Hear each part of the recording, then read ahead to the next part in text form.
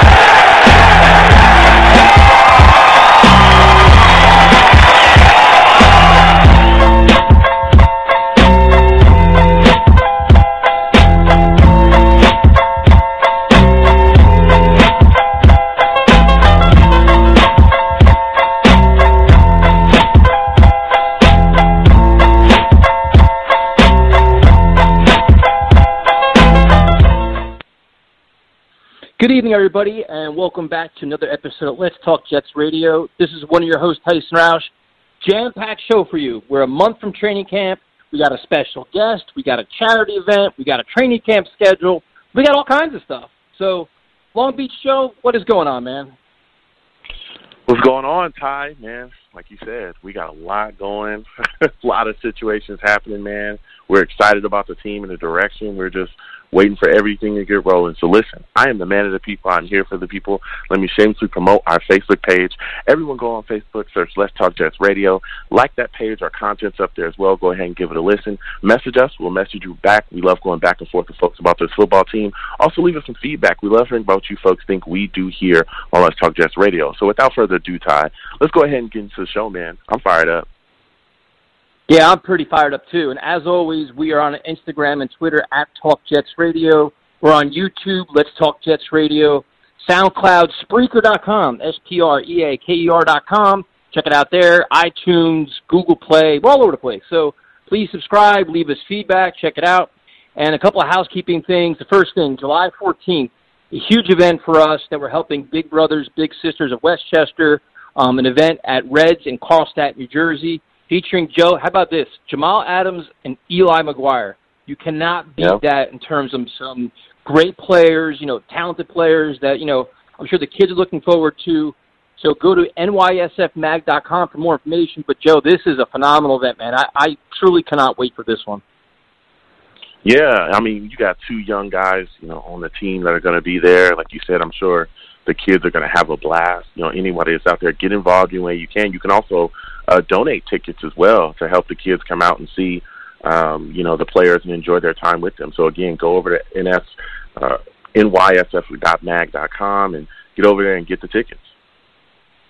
Yeah, and all you gotta do is you buy a regular ticket. It's fifty bucks, and write sponsor on it, and then that will go. You will sponsor a kid who the big brothers and big sisters will help. You know, bring there, and dude, they get a picture and an autograph from Jamal, Eli. I know Yep. Jay's working on some other special guests. So I mean, a great day for a great cause, and you know, you listen to our show. We did it last year with Malden and Terrell Pryor and McGuire and Simon Ed and Rob Carpenter, and it was Mhm. phenomenal, man. Like the look on these kids' faces when they see this larger than life football player, man. It's like, holy cow, like, can I get your autograph and can I get a picture? And such a good time. So you can donate and contribute to that. Please do. And obviously, NYSF magazine is out. I mean, it just came out recently with all kinds of stuff. Prime Time is writing his heart out. I don't know when the hell this dude sleeps, but check that out as well. And Joe, we got a we got a really cool guest tonight. And the interesting thing, part of our guest, who will be Bilal Powell, is Look, obviously he's a he's a favorite of both of ours. He's been on the show a couple times, but he comes to an an exciting offense with year two with Sam Darnold. I mean, this this guy is gonna have a chance to make a lot of plays in this offense, man. Yeah, he absolutely does, especially with a guy, you know, like Adam Gase, who is known for, you know, getting those backs in open spaces and using his backs to come out the backfield, catch the football too. He really does have a chance to make a lot of plays. Uh, Darnold in his second year, who we all believe is really going to take that next step and really, you know, move forward and really step up and put be in the helm of this offense. And he's going to be launching the football out there. He's also got some other backs in the backfield too that are really going to help push as well. Uh, you know, with Montgomery, and then of course we got Le'Veon. You know, so I mean, there's a lot of competition at that spot. Uh, he's going to be a guy that we're definitely, I believe, we're going to see a lot of carries out of, and we're going to see the ball put in his hands early and often. Um, and you know, we're going to go out there humming on offense. Yeah, and the, the one thing I, I really appreciate about Bilal, and this is, you know, the last couple times he's been on the show, is he doesn't do a lot of interviews. Joe, he's he's very quiet. You know, he just he's not a media guy. He just wants to keep to himself. You know, hard work, like and and action speaks louder than words kind of player. And you know, to be honest, I completely appreciate him coming on because you know, like, dude, he gives us like fair, honest insight. He just keeps it real with us, and that you know, that's probably one of the coolest things about doing this podcast is getting a chance to talk to a guy like Bilal Powell. Yeah, absolutely. A straightforward guy, a guy that's hardworking. Uh, that's another thing that I think a lot of people kind of don't talk about when they talk about him is his leadership and his ability, you know, in that locker room to help mold some of these younger players. We just talked about Elijah McGuire, a guy that we have on the roster. There's another young back that's still, you know, trying to take that next step forward. Trenton Cannon's another guy that's back there as well, and they're going to be looking at him. I mean, you look at his workouts; he does workouts as well. It's on social media too, and he's in the sand and he's, you know, running his cones. He's out there working hard to get back and, you know, get in form and get in shape for the season. So, yeah, Bilal Powell's a straight shooter. I like talking to him, and he's a guy that brings it. Yeah, and if you follow NYSF magazine, um, Jay actually covered his workouts, his recent workouts, and like you said, there's videos out there that Jay did a great job with it, and it was like, dude, you see this guy's putting in the time, man. Like he looks like he's in phenomenal shape, in the Florida heat, in a friggin' hoodie, and it's like, dude, this guy is is business, you know. It's just it's just awesome to see. Like I, you know, we there was a time Yeah. where we thought, hey, you know what, he his time with the Jets is over. Not only is his time Yep. with the Jets not over, this guy is, is you know back on track to have a big year.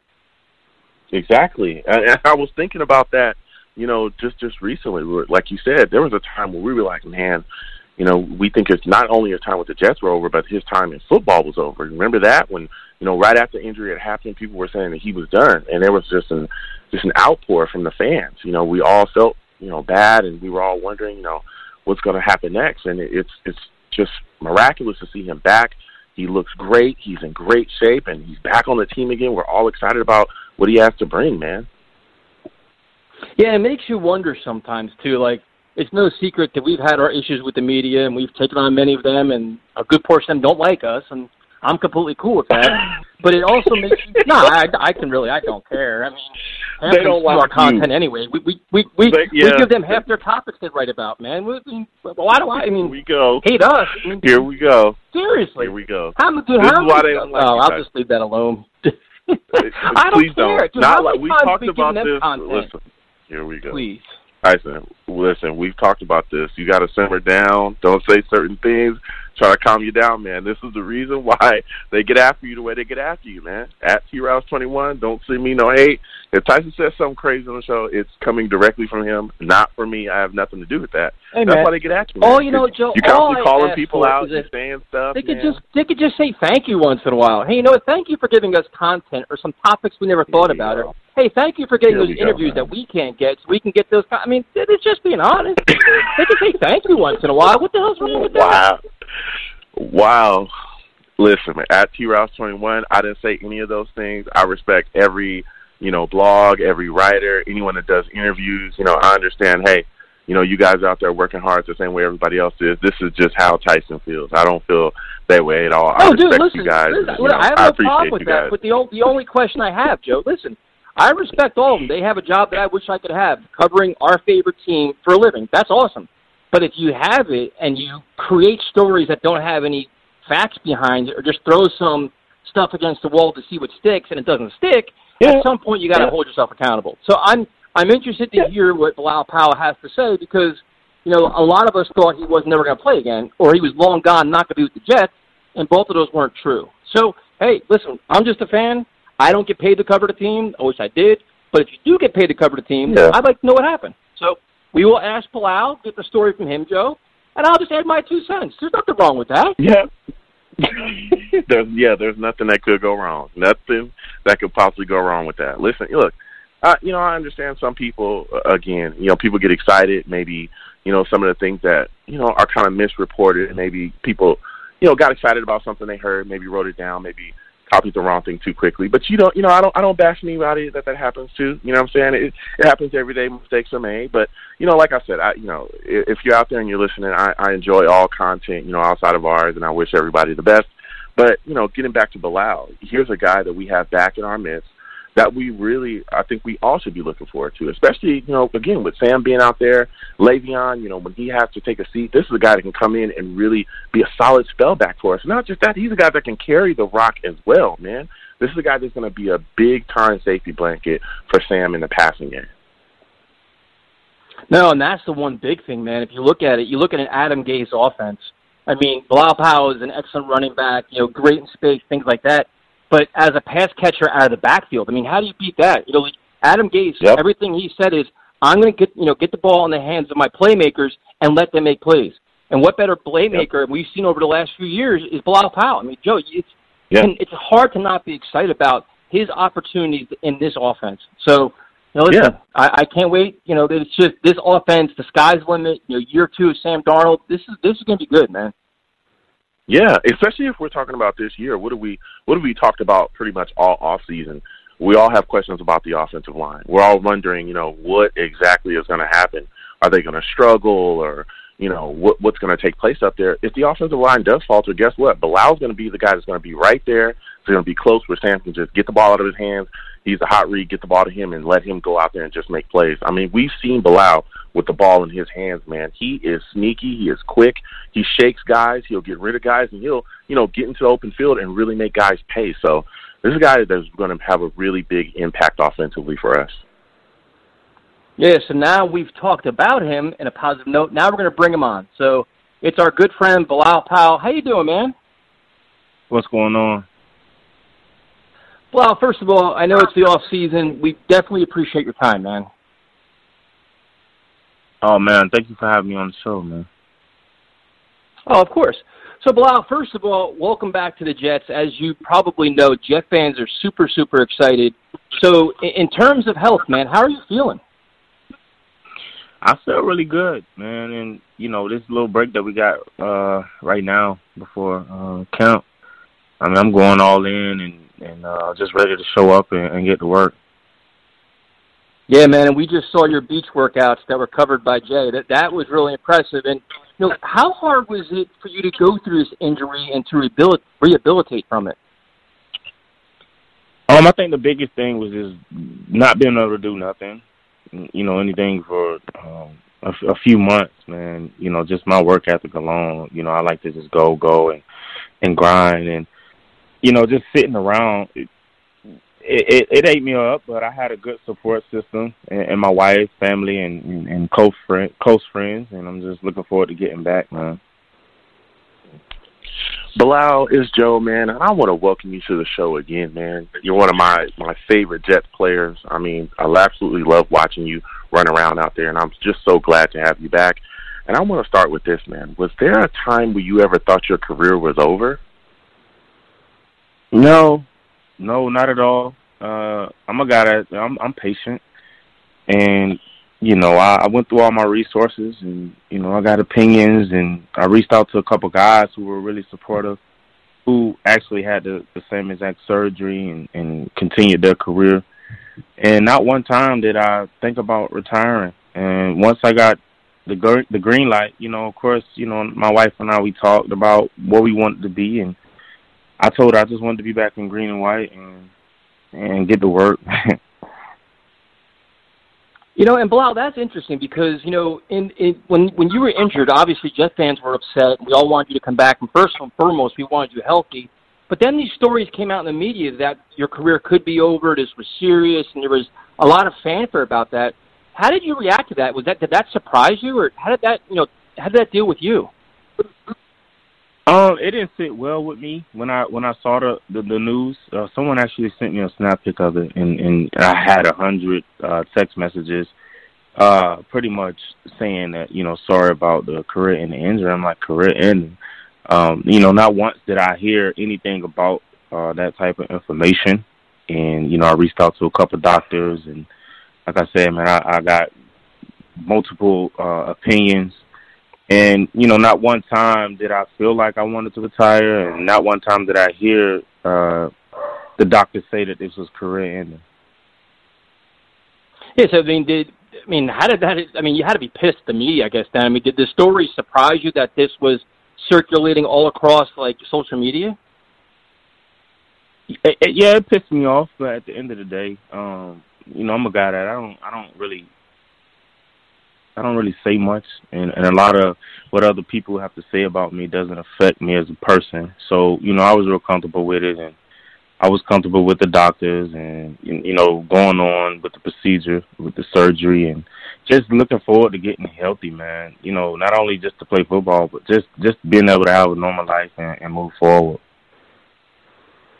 Yeah, and move forward you did, man. Because first of all, we are glad that you're healthy and back at it. And then the second story, which kind of surprised us and bummed us out, was that there was reports that you weren't coming back to the Jets. It was kind of like a foregone conclusion that you were back at it, but you may be going somewhere else you know, as as longtime fans, man, we're all bummed out.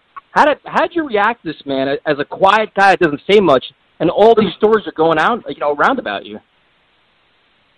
Well, I mean, I had a couple teams reach out to me, and you know, I just felt like, um, you know, I talked to Gase a couple times, and I liked his whole philosophy and, and what he was doing, uh, not only with just the offense, but with the organization and within the organization as a whole, and the culture and and uh you know I, I I believe in it and you know I've been loyal um to Gang Green now for nine years and you know like previous times I had opportunities to leave uh I decided to stay because I I want to continue to just to believe in the organization that gave me my first opportunity man and I want to do everything in my power to just help bring a Lombardi trophy back to New York man in the green and white New York so make sure I say that yeah.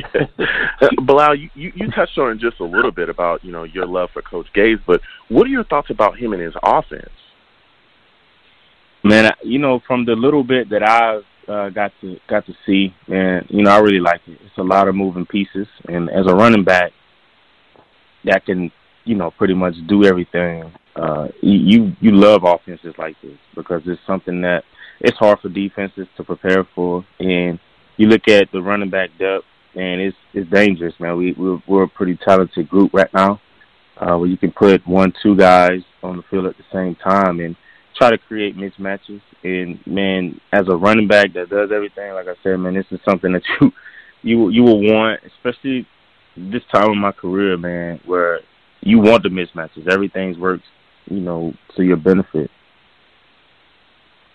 Where do you feel you fit best within the offense? Ah man, you know what's crazy is this is my seventh offensive coordinator, so I played in all type of different offenses, and you know, uh, I just I just want to get a chance to get back to it and, and and just see where I fit. You know, uh, I haven't had a chance to get out there with the team yet uh, in team drills, but just being able to run around, I want to get comfortable and just see where I fit. And whenever my number's called, man, I just want to take full advantage of my opportunity. Also, when watching you out there, watching some of your film, you're a very tenacious blocker. You get after it. Can you tell me where that mentality comes from?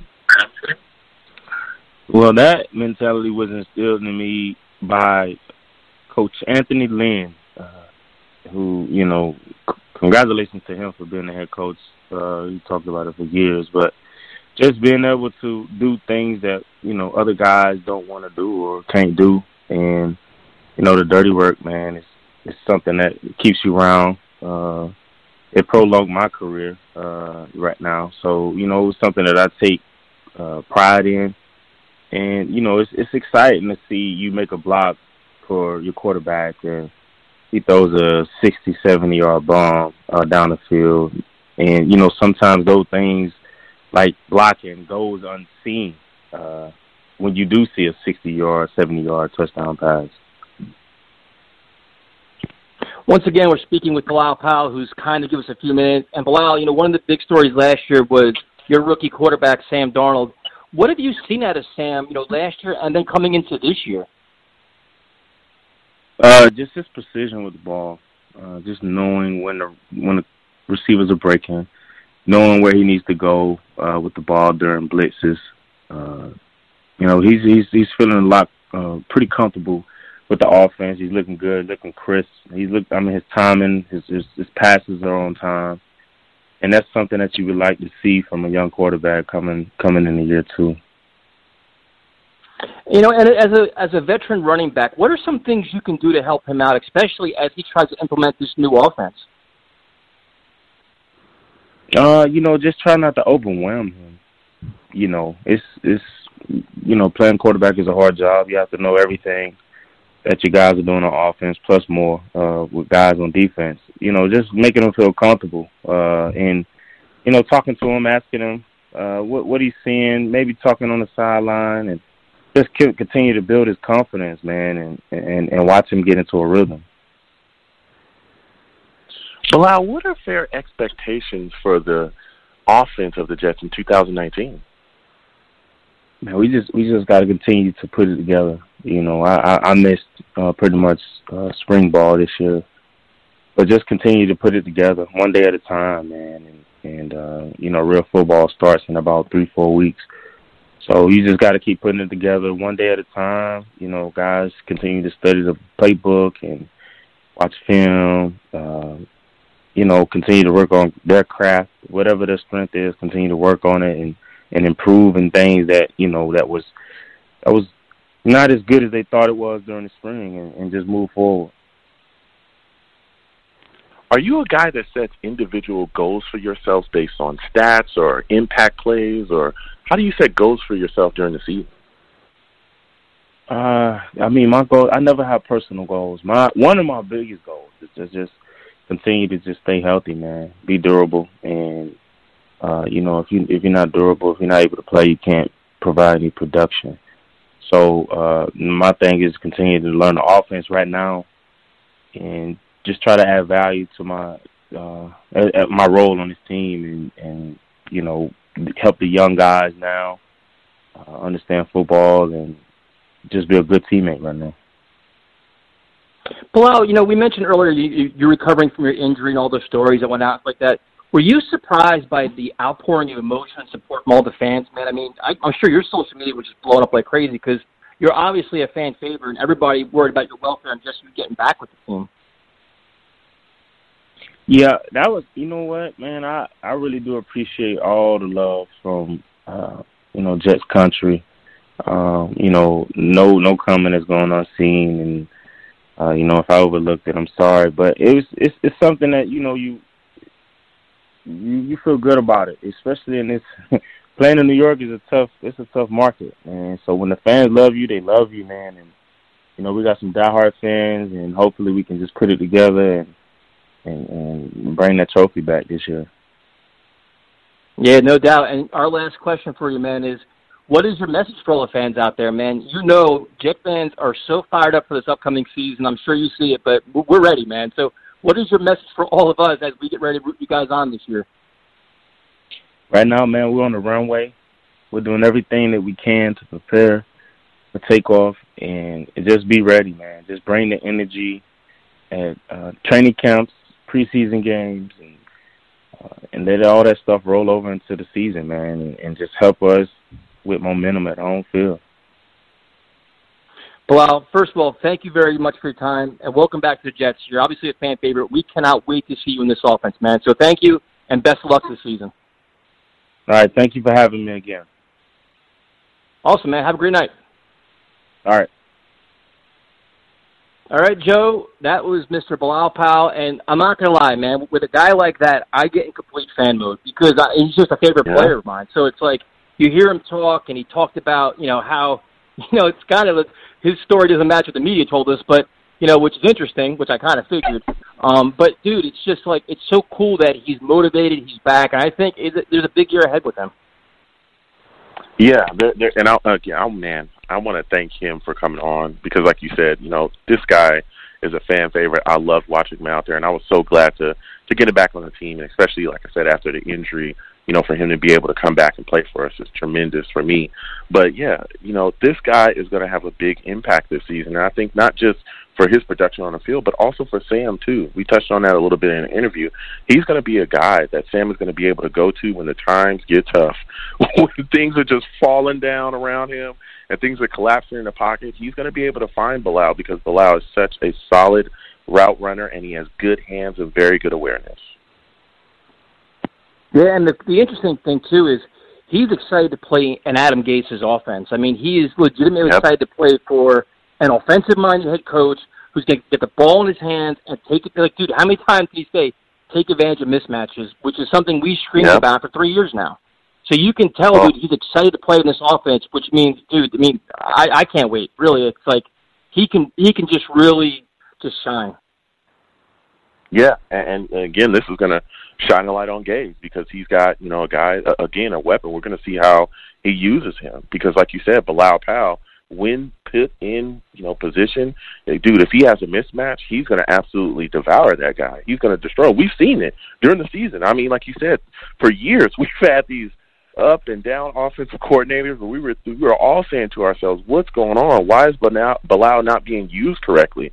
You know, why isn't he been given the ball more? You know, Gase should absolutely put the ball in this guy's hands, and we're going to see him go out there and be explosive."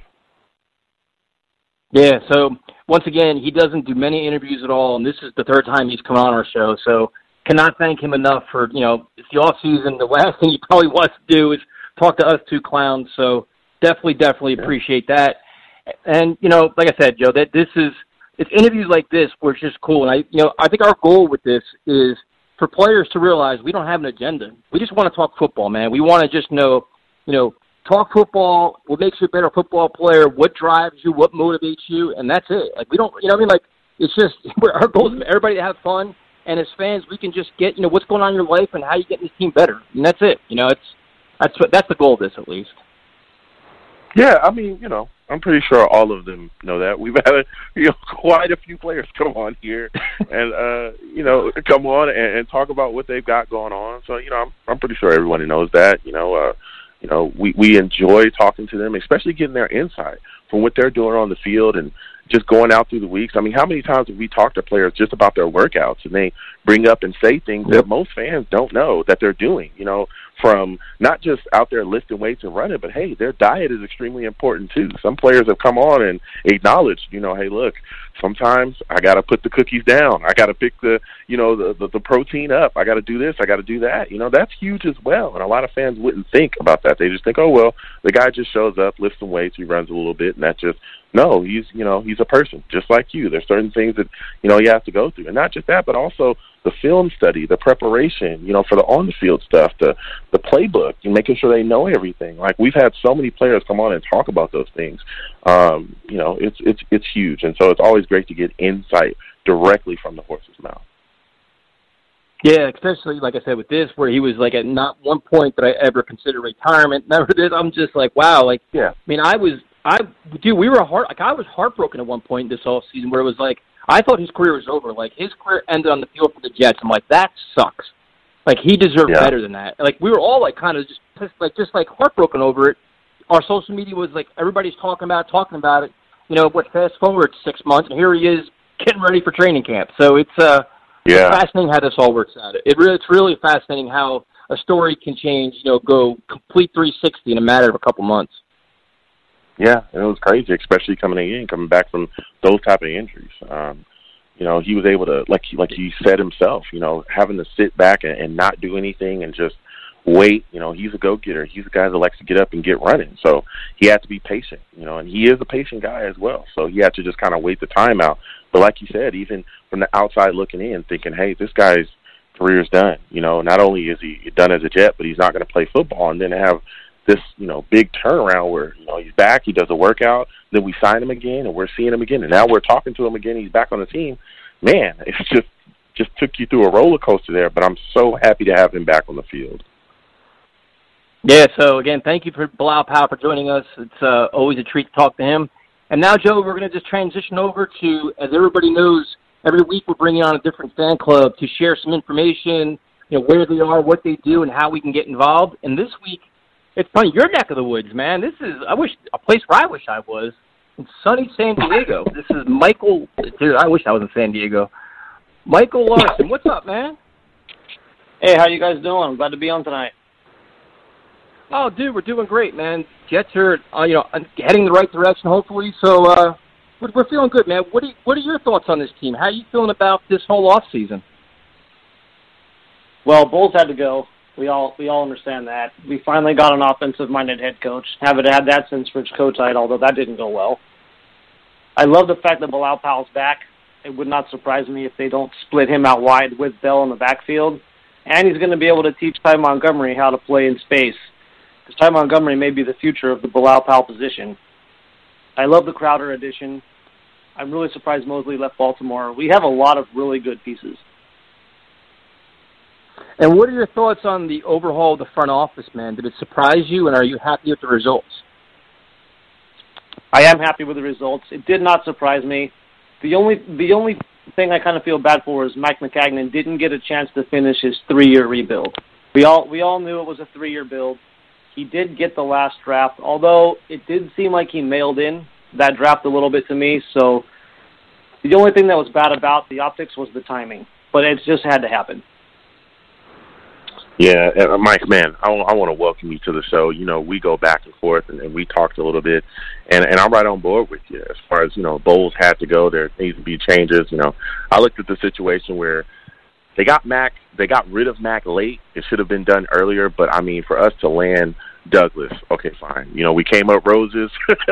I'm happy with it. I'm glad some of the other front office moves that he made going forward as well, filling the guys, filling the staff out with guys that are about football that are going to be able to come here with established resumes and get the job done up front. So I'm just looking forward to them going into their to their draft, you know, their first draft year, and really, you know, continuing to fill this team out, man. But I want to get your thoughts on this. How do you feel about Sam Darnold going into that second year? The only worry I have with Sam Darnold is can he stay healthy? Because he already missed three games his rookie year. I understand the team wasn't good, so it was probably best he sat behind and watched McCown play a little bit other than that, he's got a cannon for an arm. Everybody says the same thing. I've seen him throw mm-hmm. balls that I haven't seen other guys throw in a long time. We haven't had a quarterback that I trusted since the one year we had Favre, and his arm fell apart. I never trusted Vinny. I loved Vinny. I never trusted Vinny in a big game. So if, if Darnold can take that oh. big leap this year, the following year is going to be amazing. Oh. I knew What's Tyson Vinny Testaverde now? Are we going to go at after Testaverde now? I I loved Vinny, but you have to acknowledge in the big game, it was a problem. We we had Baltimore beat. We put 527 yards on Baltimore at the end of the wait. What's the, the, the big game? Let's oh oh talk season. about let's talk about the championship game against Denver. He got us to the championship game against Denver, and it wasn't him. It Curtis was Martin Keith Byars fumbling, Curtis Martin fumbling, Dave Meggett fumbling. I mean, that's that's what the problem was.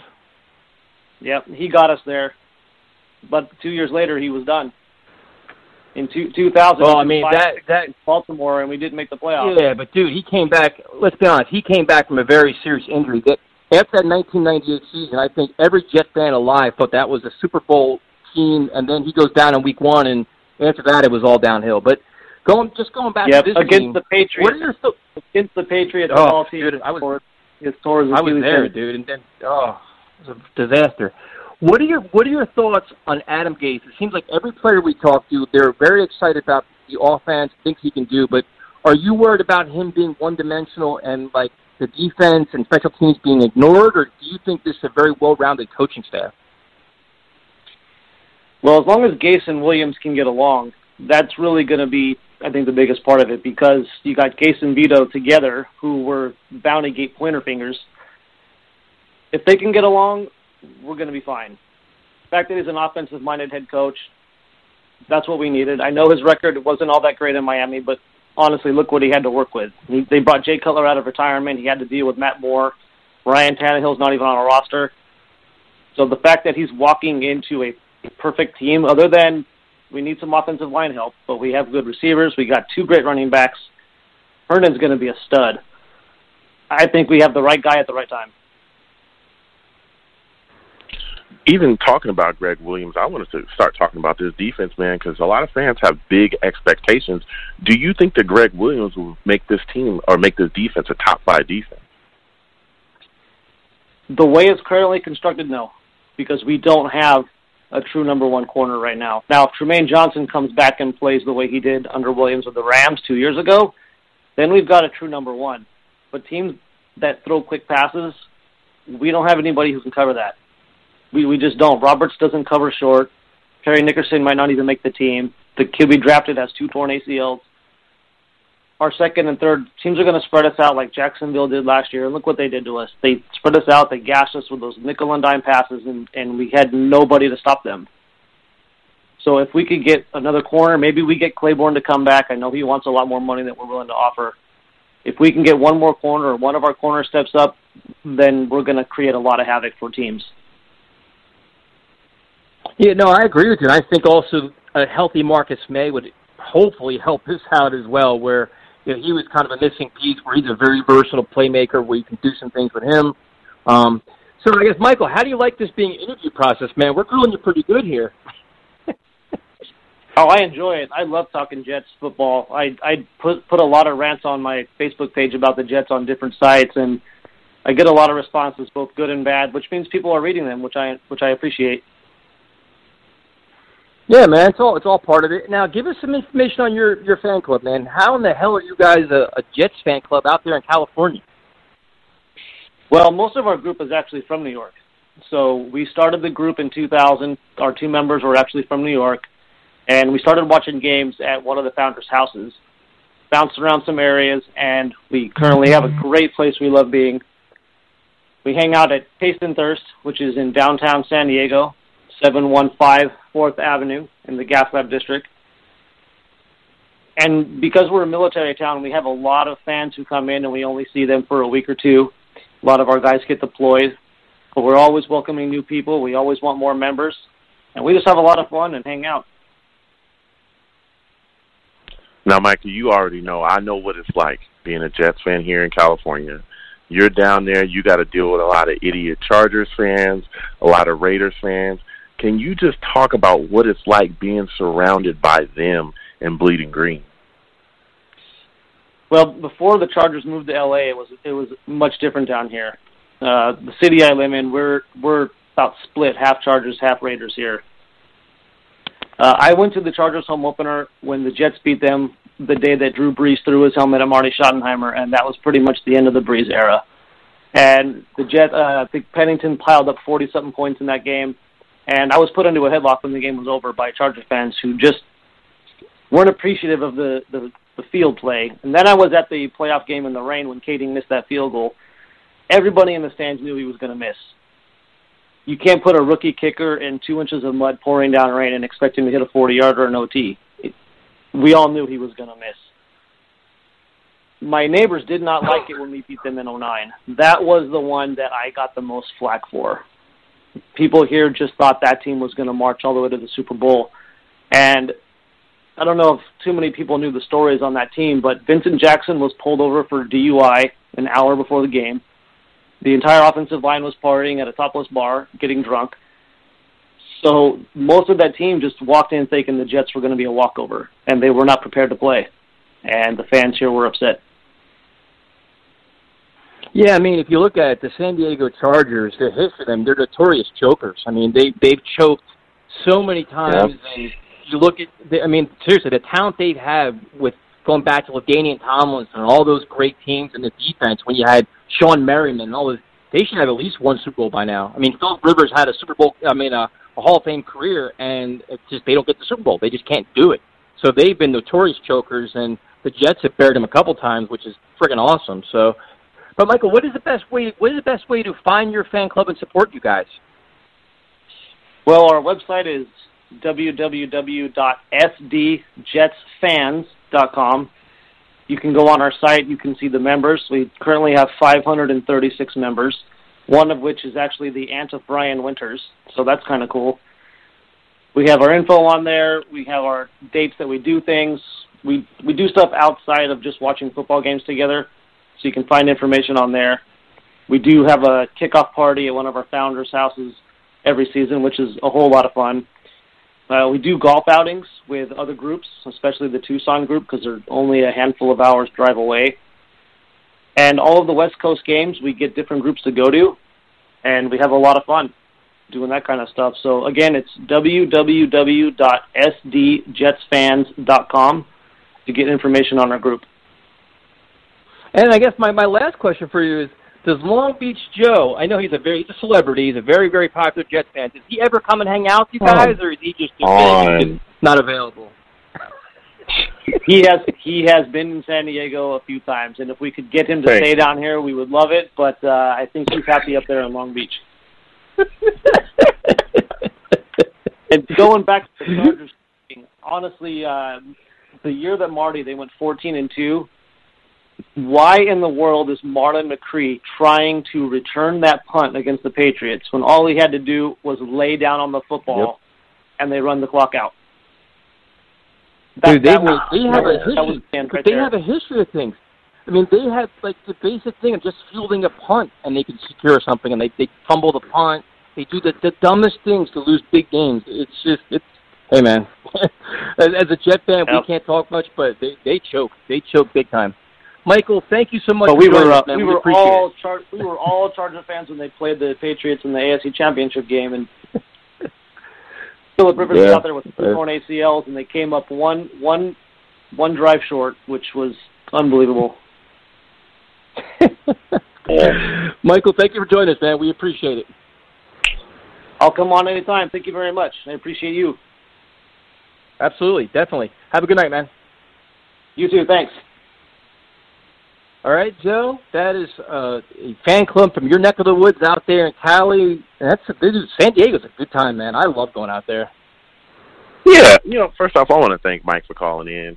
You know, love the fan club out there. Love those guys. Love, you know, when I go down to San Diego, we connect. But I, I, I love how you try to hate on me, Ty, and he sets you straight yet again.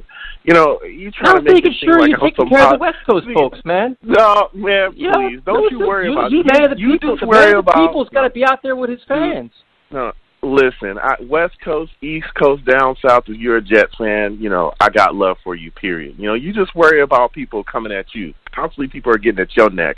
Don't worry about me. I'm gonna be Okay. all right. Okay. I'm not worried about And that. All, yeah, that's what you say until they get after you. You know what I'm saying? Until they get after you, and then you trying to fire back. But don't worry about me, man. And he sets you straight. He lets you know. You know, we come down there. I have a good time with those folks. I know they wanted me to stay, but hey, I got to get back to Long Beach, man.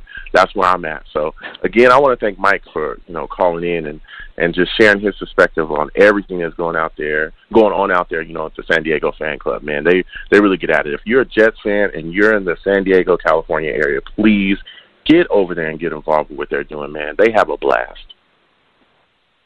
Yeah, once again, our call-in number, 929-477-2651.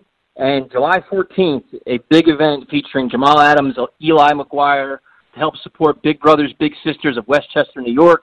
And a phenomenal Yep. event, um, nysfmag.com. It's 50 bucks if you want to sponsor a kid, and it's it's such a great time. Great time, great event. So if you can make it, we appreciate it. And uh, speaking of this event, we will go to the creator of this event, Mr. Jay, who just covered Bilal Powell's workouts. Jay, what's up, man? What's up, guys? First of all, shout out to the all the fan clubs out there, especially uh, you know the the San Diego guys. Uh, man, the San Diego fan club is no joke. Um, I've seen videos of those guys. You know, they take they take that entire bar over. Uh, Joe, I'm sure you, I know I know you've been there, but man, my guy Robert uh, Torres out there, dude. They get up on the bar. They're doing Jets chants. You know, it, it's crazy what goes on out there in San Diego and how many Jet fans they get together in that place. And and it, that goes on across the country. So you know, I, I just, I, it's, it, it's really cool how you guys have those fan clubs on, um, you know, to explain what's going on outside of the New York area, man. It's like, it just blows my mind. These guys, they're so hardcore. And, you know, living down here in Florida, I'm going to get a little taste of it, you know, with the South Florida Jets fans. And I've, I've been out to, you know, to games and watching, you know, watching with those guys, um, you know, when I've been down visiting my father. But, um, dude, they get these, you know, these off-season rafting trips, golf outings, all this stuff, and they just, you know, they do fundraisers at Christmas, and they do all this stuff as Jet fans. And I think that, like, probably as being a fan, that's probably one of the coolest things. Um, you know, it gives you a sense of community and and uh, and friendship, and and all these people that you meet through this stuff. It's just, man, it's awesome. So I like what you guys are doing with that, uh, you know, with those interviews with the fan clubs, and uh, you know, it doesn't go unnoticed with those guys, man. You know, San Diego, Tucson, all these different fan clubs that we've hung out with in, in the past, man. You guys are all killing it. So you know, I'm I'm just you know I'm, I'm blown away by all of it. And to follow up with that, you uh, we just spoke to Bilal Powell a little while ago, and you actually had a chance to meet with him and watch his workouts in that Florida heat. What were your thoughts on what Bilal was doing, man? Man, first of all, on that, let me just say, um, there are times like when we do this mag, you know, the magazine and and you know what you guys are doing the podcast and all that stuff that that we all do together. That like I have to like seriously take a deep breath and just like digest it all and like pinch myself to make sure that like somehow like that I'm actually awake and I'm not dreaming because like being able to sit on a beach in you know in South Beach and watch like my favorite Jets player um and Bilal is that he's my favorite Jet player. I mean he he's been um just everything you would want in a in a player on your team just solid quiet hardworking respected you know good player productive on the field. And like you said, Ty, I mean, he deserved to go out um, as a Jet better than than you know with this serious neck injury, right? So we were all heartbroken when um, when all the reports were coming out that he was, you know, first of all, first and foremost, when you know when when Bowles said that uh, you know this injury is probably career ending and and uh, you know was worse than the one that Quincy went through and all that stuff. Um, dude, I was like like shaken, man, like like visit like like physically like really upset because to see your you know a guy that you look up to that you know that you respect and that you really just enjoy you know seeing play out there um but not just as a as a fan but also just on a human level. Like you want to see that guy who's been through I mean he's been here for 7 years now so through the entire playoff drought. And it's not his fault. I mean that guy's putting in the work right? So you want to see him be a part of the turnaround and be here for some wins. And uh, man, to be able to sit there on the beach with him and see him healthy and see him training like that in a hoodie, dude. Let me tell you something. I was I was out there in like a performance T-shirt, and it was soaking wet. Like I was, I, I, my my the camera lens was fogging up, dude. It was crazy how hot it was out there. It was a steam bath. And these guys, him and, and his and his crew, his wife, and and uh, you know his friends, his childhood friends, and everything he was out there with, they were getting after it. I mean, it was crazy, and uh, you know, like just it's just so cool to be able to be a part of that, and for him to trust me to be able to come out there and and film it and put that interview together and everything. Probably, I would say in my top three of highlights of you know in, in these five years we've been doing this stuff um, of things that I've been able to do Jets related. It, it was awesome. It was a great day. Jay, man, you already know. I want to thank you for calling in. You know, I love talking to you on a weekly basis about this team and what we got going on. And your coverage of Bilal Powell and those workouts, man, was amazing. I watched that video and I was like, wow, it's it's great to see him out there doing what he's got to do to get himself back on the field and you know keep himself in shape and just he just looked great out there running at the cones. But I want to get your thoughts on this, man. What are your thoughts on how him playing on the field, his skill and his ability, how do you think that will help and impact Sam's play from a quarterback's perspective? Well, you know what's interesting is like in some ways Bilal is is uh you know, I think that that Gase likes having guys or I know that Gase likes having guys who are, you know, who are versatile, kind of like Swiss Army knife type guys and and like you touched on before, Joe. I mean, block and block. He can catch passes out of the backfield and obviously he can run. So, I mean, there's like you know, there's nothing he really can't do in this in this offense. And then you bring in, you know, you have a guy like Le'Veon Bell who's very similar in that regard, man. Obviously, Le'Veon Bell can run. That dude is probably the, the best pass, you know, catching threat, um, you know, out of the backfield in, in the NFL. So you put those two guys in the same backfield, and you, and I mean, it's like interchangeable parts, right? It's it's almost like you know you you're uh, you're, you're certainly not losing much with either guy on the field, you know, as as opposed to the other. And then you have Ty Montgomery, who's another type of guy, you know, uh, similar in that regard. You know, a, a former wide receiver that's converted, that can catch passes, that can block, that can run, that can return kicks. I mean, dude, you can't. And, and then you got Elijah McGuire. I mean, and, and Trenton Cannon on special teams. Dude, there's going to be some competition out there this year, like like we touched on last week um, in training camp. I'm here for it, man. I can't wait to be at training camp and to see these guys getting after it because um, somebody uh, you know, um, in, in that group. Um, and I, re- I mean, unfor- I mean, I you know, it's probably going to come down to whether they keep Elijah McGuire or Trenton Cannon. Um, you know, it's going to be interesting to see what goes on, but you know, I just think that there's definitely going to be some serious competition out there. Um, and you know, look, Bilal, I think it's almost a given at this point. I mean, that, that he's going to be on the roster.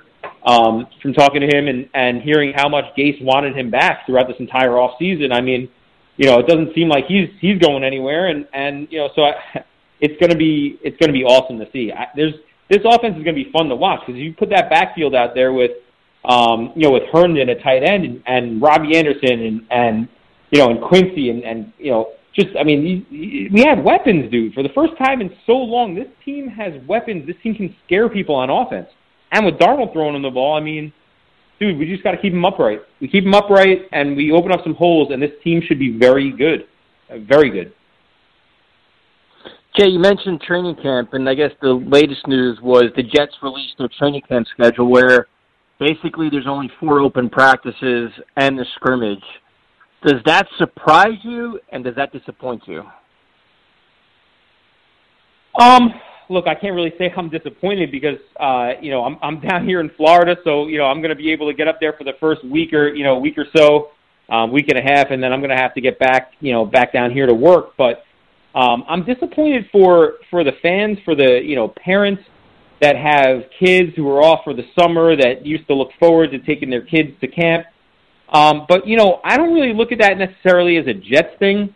Um, that's just some some league wide thing that's going on now because you know, you see it around the league. You see these teams are just limiting the access. And like I kind of touched on last week, it's like I think the reasoning behind it is because now they're not doing these two a days. They're so limited with how much um, practice time that they're allowed to have. I think that these coaches, in the time that they have, just want to kind of limit the uh, you know the the distractions and really just have these guys focused. They're like in the time that they have. So um, it's it's a little disappointing. I think that it's a shame that it has to be like that.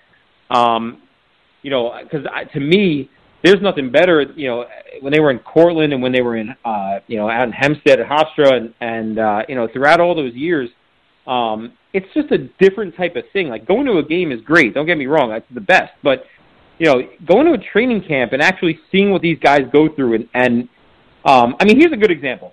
So I was talking to Bilal, and I actually asked him. I, I was like, Bilal, what are you doing out here in a hoodie, man? And and we and he started laughing, and I was like, dude. And he goes, listen, man, Florham Park in the summer, dude. He's like in August. He's like, it's hot, right? He goes, I know. I see you there on the sidelines, and and you know, I know you're hot taking pictures on there. He's like, now think about it from my perspective. I got a helmet on, I got pads on, and I'm running around out there. He's like, I got to get ready for that, man. So you know what? What better way to get ready for it than than sticking a hoodie on myself and and being out here on the beach and, and you know in 95 degree heat? It's not going to be he's like, this is no hotter than it is in Florham Park in August when you're at baking on that field. So, you know, when you're a fan and you get to sit in those bleachers and you're sitting there and you got a fan on you and they're missing you and and you know and you got a hat on and and and sunscreen and all that stuff and and shorts and a t-shirt or a tank top whatever you got and you see what these guys go through to get their bodies ready for camp out there in pads and helmets and all that stuff and and you know it really makes you I think appreciate humanizes them and it makes you appreciate what these guys go through and uh, you know that's that's the type of experience you know that you can't get at a game. You can only get that and see that uh, that type of work and everything at training camp. And so it's a shame they have to close it off to to fans because um, or you know to limit it and you know only have a few practices open to fans because I think that that's something that like you know was always a really cool part about the NFL um, throughout the years. So it's a shame, but you know that just is what it is. Times changed, unfortunately. I mean, I'd like to get you know Giant Stadium back instead of and, and get rid of MetLife. But I mean, you know, that's you can't go backwards, right? You just got to deal with the, your your reality that it is, you know, in the moment. So it sucks, but that's life. And last but not least, this big event, July 14th at Reds in Carlstadt. Give out all the information about this phenomenal, phenomenal event. I am so fired up for this event, guys. I, it's like, dude, the 14th can't come soon enough. The support has been overwhelming. Um, you know, we are still three weeks, you know, a little less than three weeks out from the event. Most of the VIP tickets are gone. Everybody that wants to go to this event, um, I, I'm not even joking. We have to pull. Like, I'd love to be able to sell 300 tickets for this event, VIP tickets for this event, so that you know, we could get as many people in that place as possible, but we're limited with space, um, we're limited with time, and we want to make sure that VIPs get the, you know, the ultimate experience, that they really have an amazing time. So if you're thinking about going, I'm not joking, the time is now to get your VIP tickets because we have less than 30 left. And uh, it's amazing. You know, we've already we've already sold you know over 120 VIP tickets. Um, so I mean, it's going to be a packed house. Um, it's going to be a great event, and if you are thinking about going, and you you know the VIP is definitely, I mean that that's VIP as opposed to the general admission. We'll get you an extra hour there. We'll get you you know that exclusive first hour where you can uh, you know where you can really um, you know get some FaceTime with, with Jamal and everything. We're gonna have a live DJ there. We're gonna have all kinds of food and drink specials. Um, it gets you a guaranteed couple of autographs. Um, if you get general admission, we can't guarantee you any autographs because if we have you know a packed house and everything, there, there's no way of us being able to tell if you know, Jamal and Eli will be able to get through the entire room in the time that they're going to be there. So, you know, 30 tickets left about, man. And so it's, you know, now's the time if you want to do it. And the other thing is if you want to sponsor a kid, what you guys have touched on a couple times, but I think this is really cool. Um, this was an idea that they had last year, the Big Brothers Big Sisters. Um, you know, they they did it where people that couldn't go could sponsor a kid. So what we're doing is, uh, if you buy a general admission ticket, um, the VIP tickets are $100 each. So um, well, but we want the kids to be the VIPs of the day. So if you buy a general admission ticket, then we're upgrading the kids to the VIP.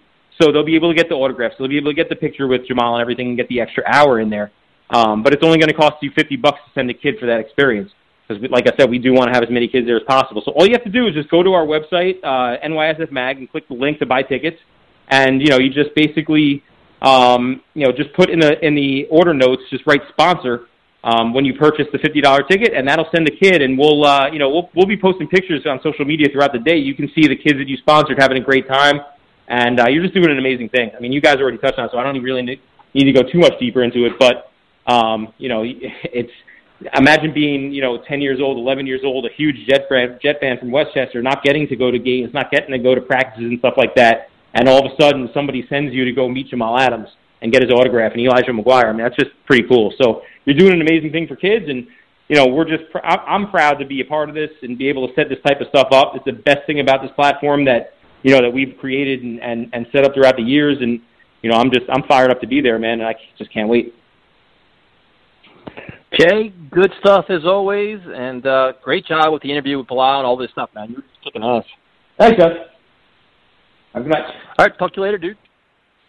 Joe, and the one thing before we go back to the callers, I kind of want to touch on real quick is, you know, the training camp schedule, which to me, I'm not surprised by it, but I still don't like it. And Jay mentioned it Yeah. as well. Is you know, I go, I'm I'm old as dirt, and I I go back to the Hofstra days where the there was two, but there there was two days where you can get there at eight o'clock in the morning.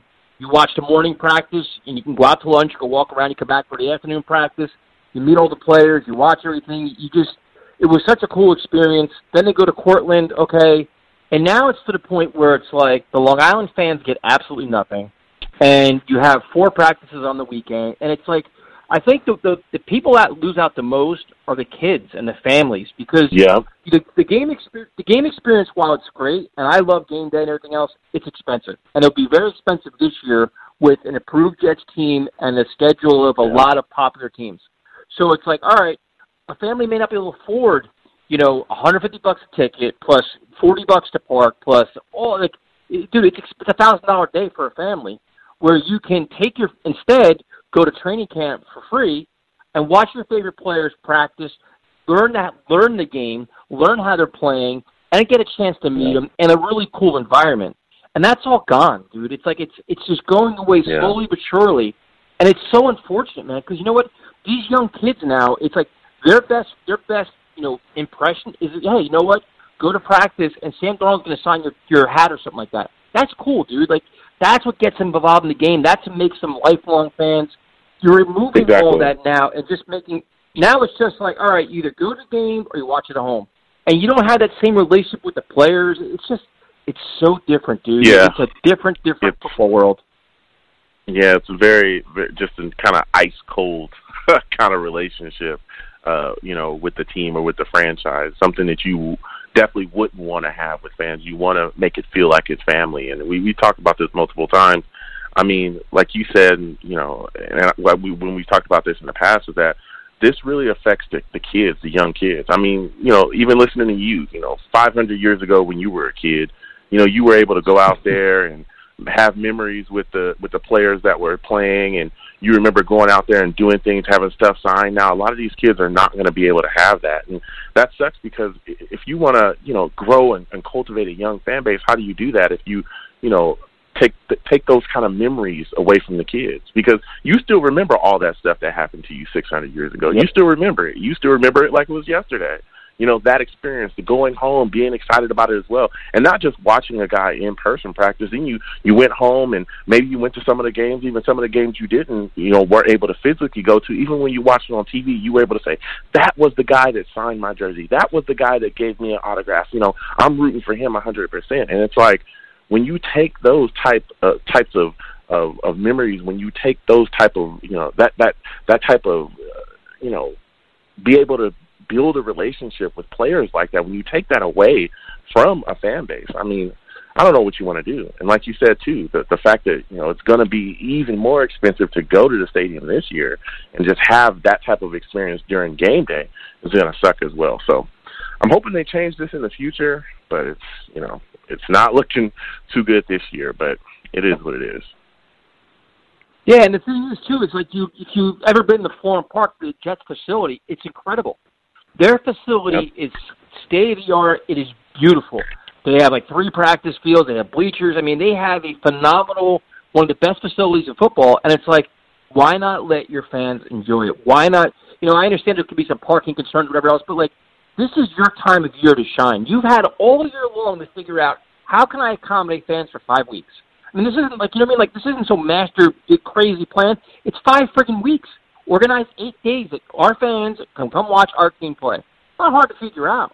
And, and the thing is, Joe, you're right. Like, dude, the thing is, like, with with players, like, there, there's not when back in the days of Hofstra, there is not one fan that went to those those practices that didn't get a chance to talk to Curtis Martin or Wayne Chrebet or Testaverde or Bryan Cox or Victor Green. Dude, that was the thing that you're like, holy cow, Victor Green's sitting here just talking to us. Like, how cool is this? Or, or Curtis Martin, dude, a Hall of Fame player yep. after practice, he would walk the fence line, sign as many autographs as he could.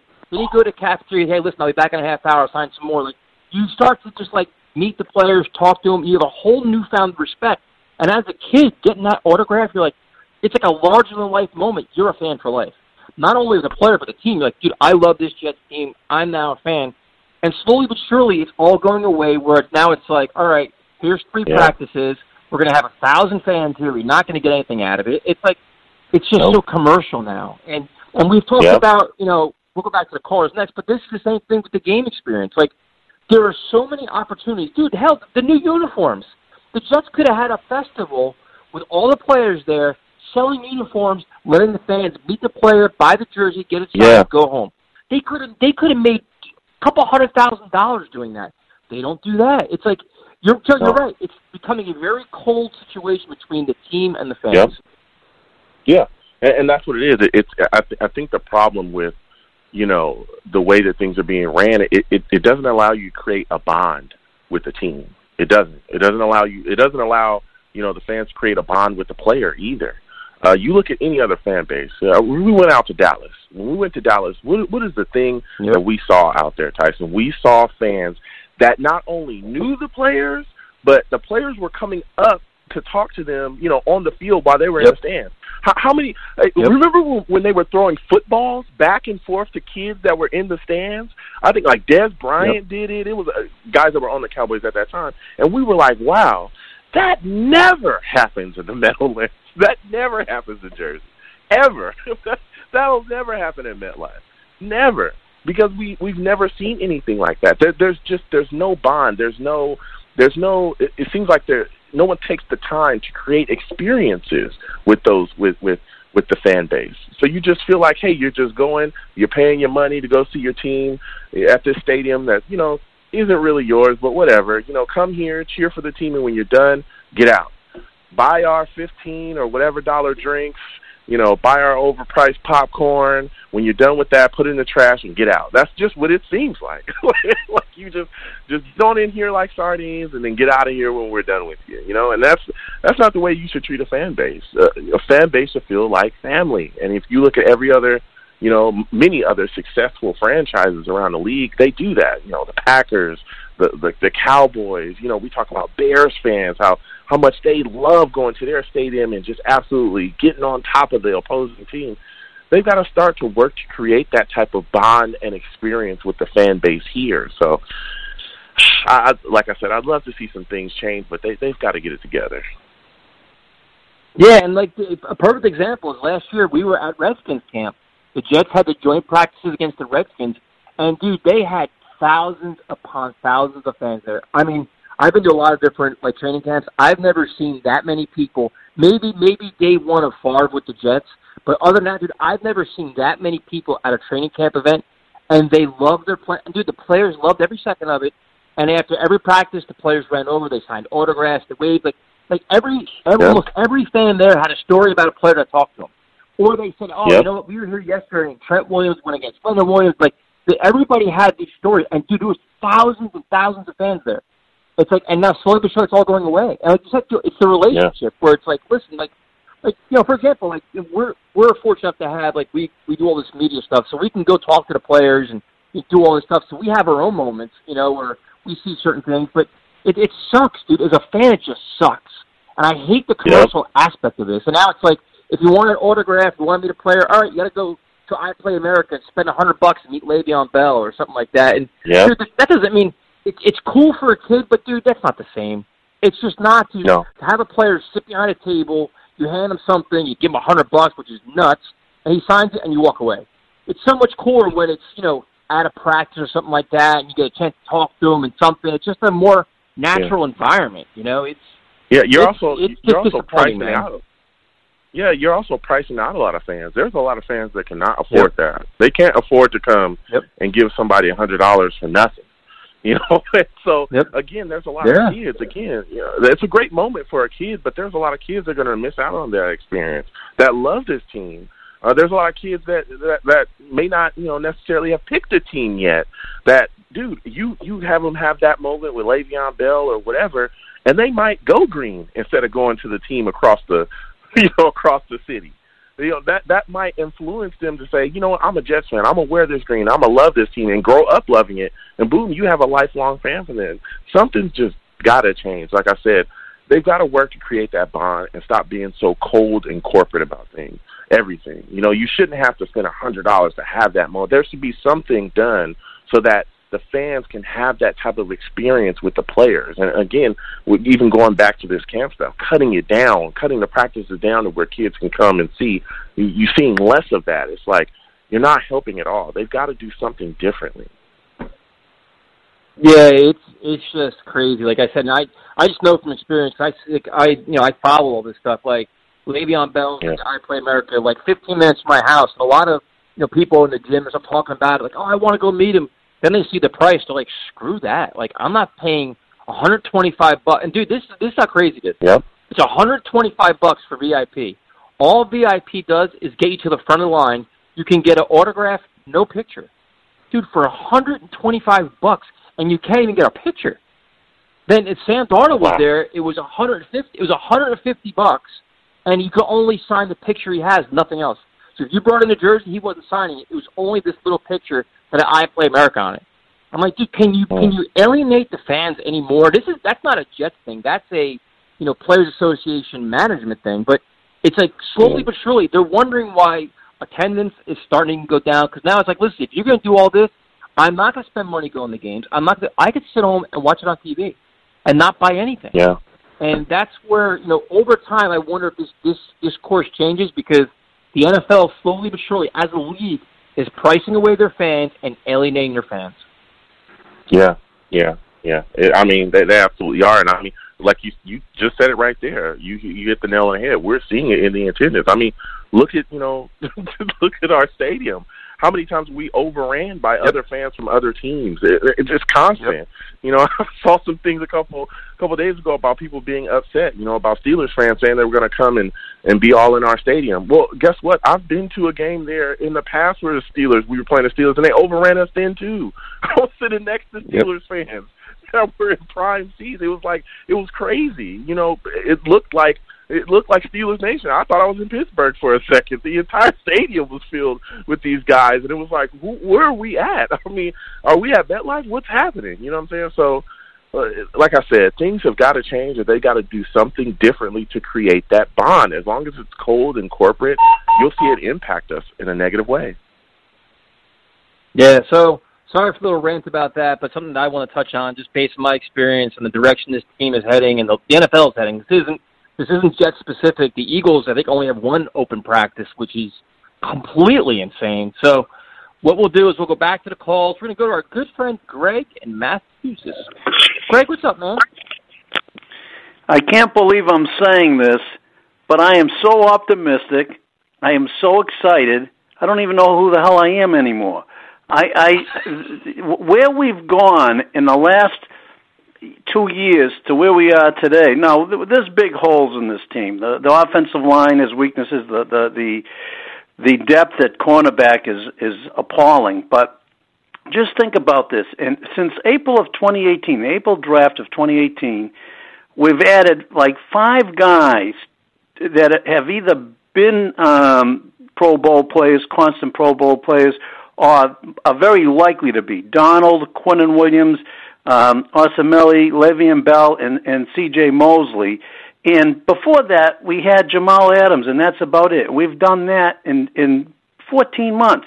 We also went from Bowles uh, and Mack to Gase, who you know I'm still I, I don't I don't want to be a phony. I, I wasn't excited when that excited when they got him, but we but he's I think he's a far up a big upgrade from Todd Bowles. We got him, and we got Joe Douglas. You know, if you think about three years ago, the big three were Todd Bowles, Mack, and Fitzpatrick. Uh, uh, um, yeah, uh, Fitztragic or whatever. And then we had the next year we had Todd Bowles, Mack, and McCown. Even when they won a game, I couldn't get excited. There was no there was no hope that they, that that team was getting better. Now we got a 22 year old quarterback I think the team's top heavy. I, I, I, I think the depth is is very weak, but but we've now got somebody that I, you know, that we can hope anyway that can fix it. And I never had any doubt in my mind that um, Mack wouldn't be able to fix it. And if you think back to this past January, how close we came to having Matt Rhule and Mack be, um, you know, be our new team. Um, and we, you know, uh, and if Matt Rhule had gotten his way, he would have brought in his own coordinators and you know, no Gregg Williams, whatever. I, you know, I'm not even sure that's much of an upgrade from Todd Bowles and and and you know, from where we were before. So this is an exciting time to be a Jet fan, and I even I, I can't tell you, my whole look on life is different because I now know we got a a, a young, aggressive coach I believe that you know he's he's the reason I didn't want McCarthy um, was I thought that you know everybody the all reports were his offenses were stale. I think this guy's going to do everything he can to have a modern attack. We're going to be aggressive. Sam Darnold says we're going to be aggressive. I mean, I don't even. I had to look up what that word meant. I mean, you know, I, I think we're going to be. This is going to be the first time in four or five years that we're going to actually really look forward to Sunday. I know i w- I've been a negative Nancy on this show a few times, but uh, I, I'm telling you, I am so excited about this, even though I know there's some glaring holes in this team. Now, what do you think would be the biggest challenge for Adam Gase this season? Where do, where do you think his big, biggest challenge he'll have in terms of getting this team heading in the right direction, changing the culture? Well, first of all, you know, I'm a little worried about this. You know, I'm going to run the offense, and Gregg Williams, you're going to run the defense. And if if if the defense struggles, is he going to have the chops to to you know say to Williams, um, you know, I hope this doesn't happen, but you know, you got to make some changes. You got to do something, and and that could flare up. So I'm a little worried about that.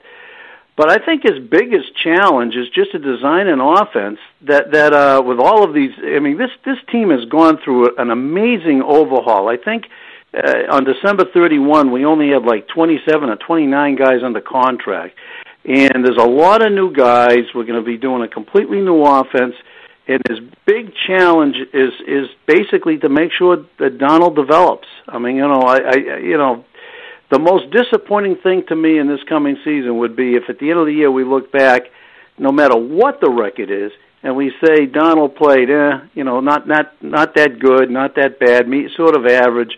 That that would be disheartening because all of our hopes are, are, are based in the foundation that he's going to be doing, uh, that he's going to be taking big leaps and bounds. So I think that Gase's biggest um, challenge is going to be that, and of course he's got some egos. I mean, he's he's got to integrate Le'Veon Bell in there, and uh, I was thrilled he brought back Powell, but um, you know Robbie Anderson. I mean, you know he's got a, he's got a lot of weapons, and he's got to um, you know he's got to try to keep everybody happy. But I I think he will. I I, I you know I, I again I wasn't he wasn't my first choice. He probably wasn't my fourth choice, but um, he's sort of won me over a bit. Um, every time I, I look at Gase being interviewed, he's very intelligent, and um, he seems enthusiastic. And you know, it's it's still early yet, so it's hard to have screwed up when you haven't played one game yet. But you know, I've, I, I think that the offense could be something else. Now, you mentioned like all the positives, all the playmakers, all the potential, how he's going to game plan. How much pressure is there on Adam Gase and Sam Darnold to perform well very early on in the season? Like, you, I mean, to start off very strong. Well, the first six games, as we all know, are the tough ones, and and, and um, recently under the and it's uh, this has nothing to do with Bowles. I'm not I can't blame them for everything in life, but uh, the, the the Jets' schedules were different. They they started off easy and then they got harder as the season went on. For um, yeah. I kind of like this. If, if if we can find a way to win three out of the first six games, uh, we're going to be set up perfectly. I mean, you know, if, if you you know if you think about it, after six games, we're done with the two Patriot games. And when the Patriots seem to stumble, they always stumble in the first part of the season. They always lose two or three games in their first seven games, and then after that, they become a machine. In the last four or five years, we've been playing both of our games as a general rule in the second half of the season against uh, against the Patriots, and now we're catching both of them in the beginning part. Well, I, I like that. I like the fact that we got two two winnable games, not not gimmies, but we got winnable games at home. If we can start off two two and nothing, I'm fairly confident we're going to be three and three at, at the end of six games. And boy, at that point, you know, I I, I think uh, we're in, we're going to be in pretty good shape. Yeah, yeah I, I'm surprising you. You're probably you're probably going to ask me to take a urine test, but this is me. Um, I'm I'm very optimistic here.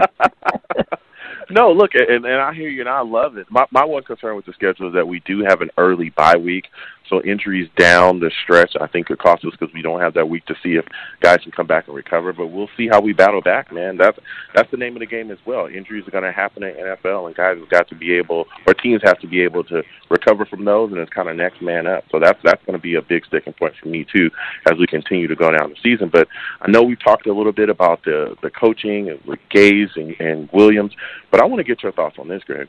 What offensive player are you looking forward to taking the next step next season outside of Sam Darnold? Uh, I'm most excited about uh, Robbie Anderson. I mean, uh, Le'Veon Bell's an obvious one, but the guy I really, really think has the best. You know, I mean, and, and by the way, Anderson's been, I think, has been a pretty good player. I mean, I, I'm, I'm, I'm, I've always been excited about Anderson, but I think that uh, he's going to become much more than a one-trick pony, and I think Gase is going to get him in space.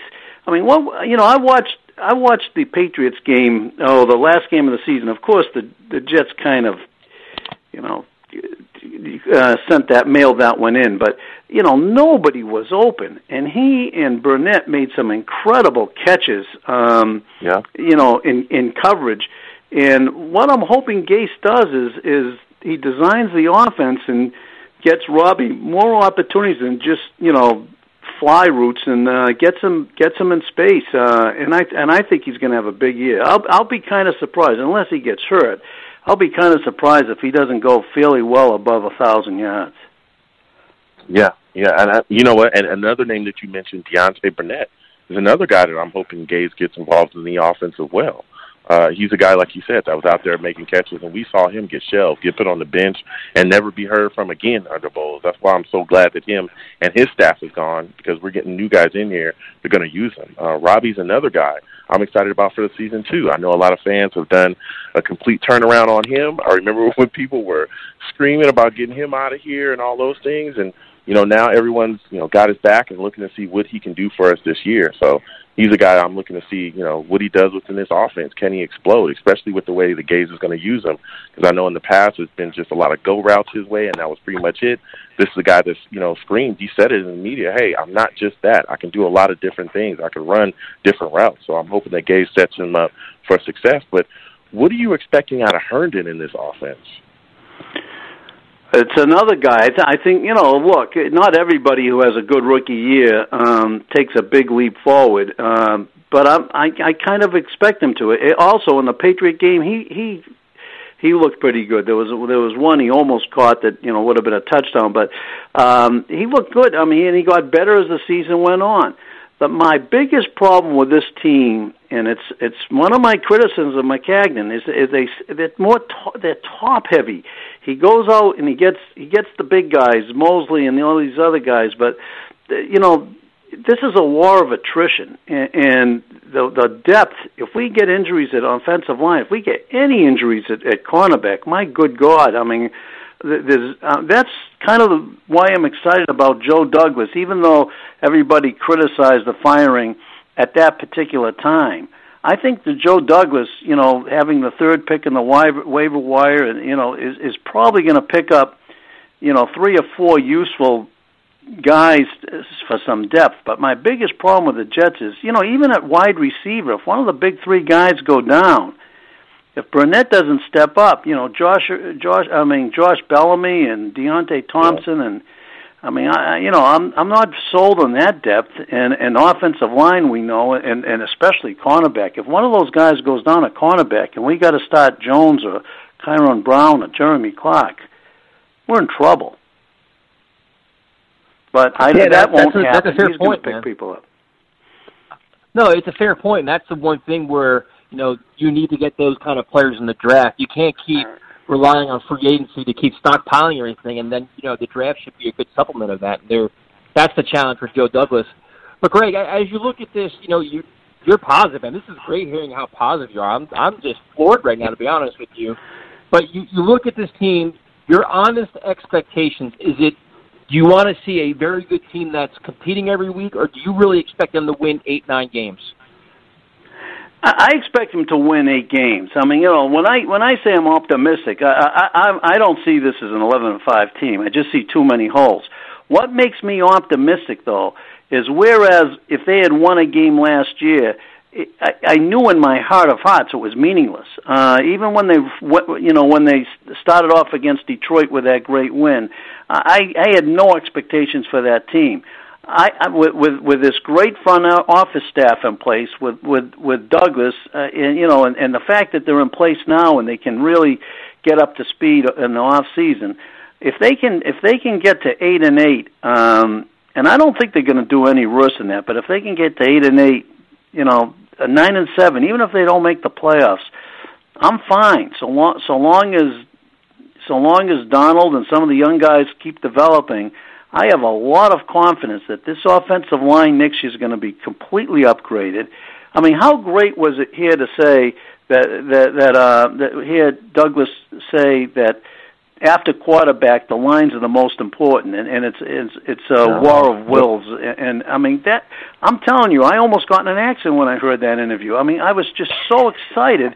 I mean it, it was it was like you know, Maccagnan's left us with no offensive line, and this guy is saying uh, that's that's my priority. I I really believe that the reason for hope is not so much this year, but the future. I really do. Even though I think this year, if he can fix, if he can patch a couple areas, especially the cornerback, I think we can be very competitive in most games.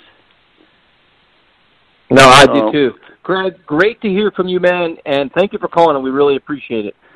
Okay, great guys. I mean, you kept me through the the dark times, um, so I, I, I can I can wean off a little here, but uh, uh, I can't believe we made it through four years of the dark ages, and uh, I, let, let's see what happens. Of course, I, you know, after we're zero and seven, I'll be calling back in again and saying I can't believe this crap. But anyway, all right, I'll see you guys. Keep up the good work and have a great summer. You too, man. Thank you.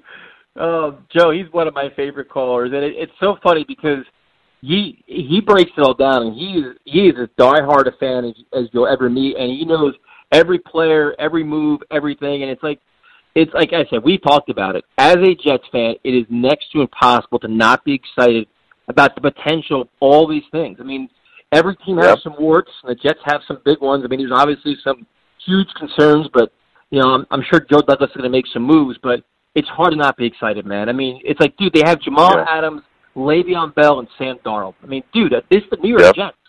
Like, how cool is that? Like, it, it's hard to not Yeah. be fired up about this.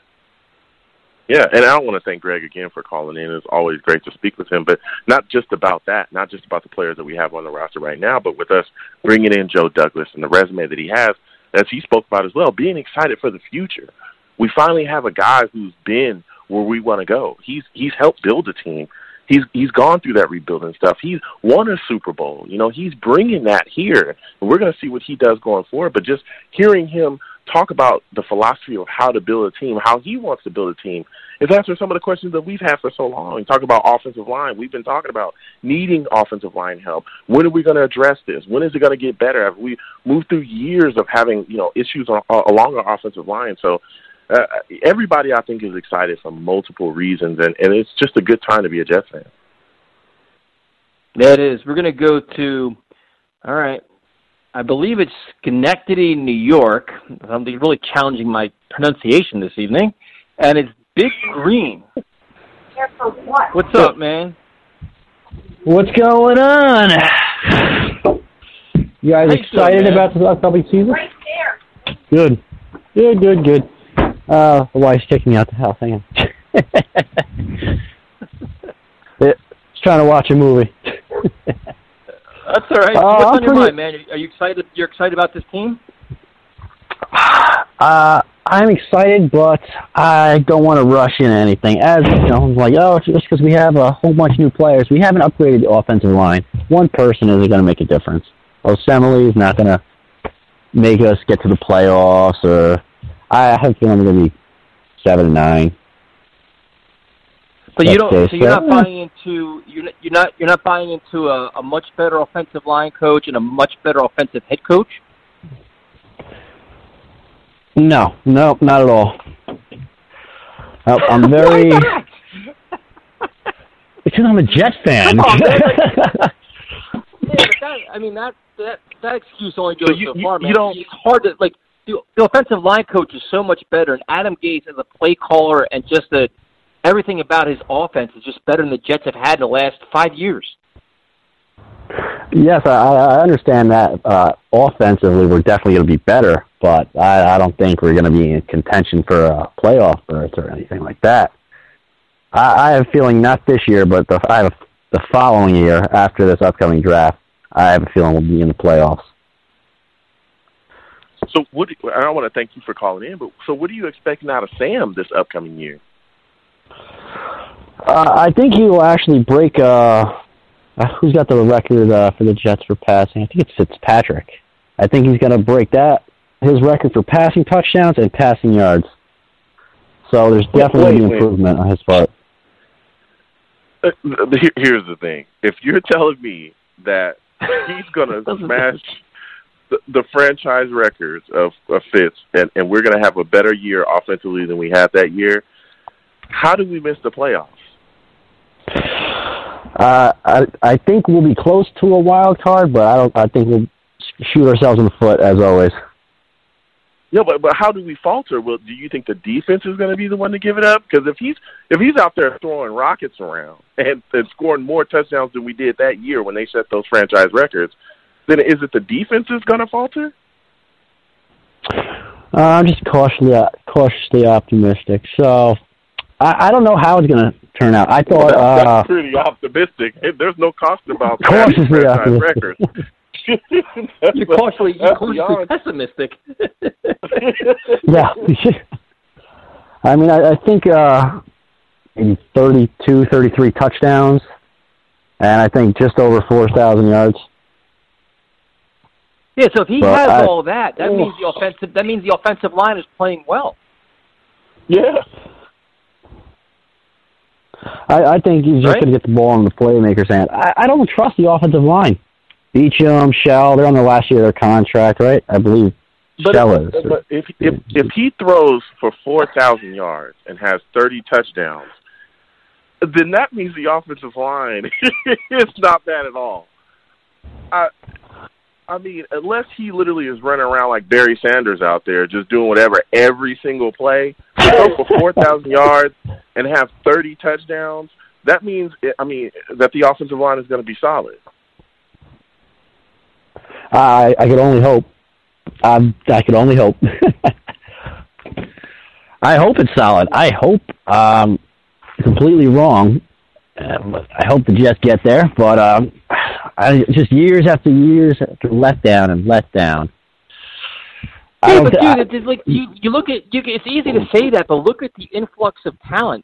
We haven't had a Jamal Adams. We haven't had a Sam Darnold. We haven't had a Le'Veon Bell. I mean, the upgrade of talent on this roster, as as opposed to years past, is night and day.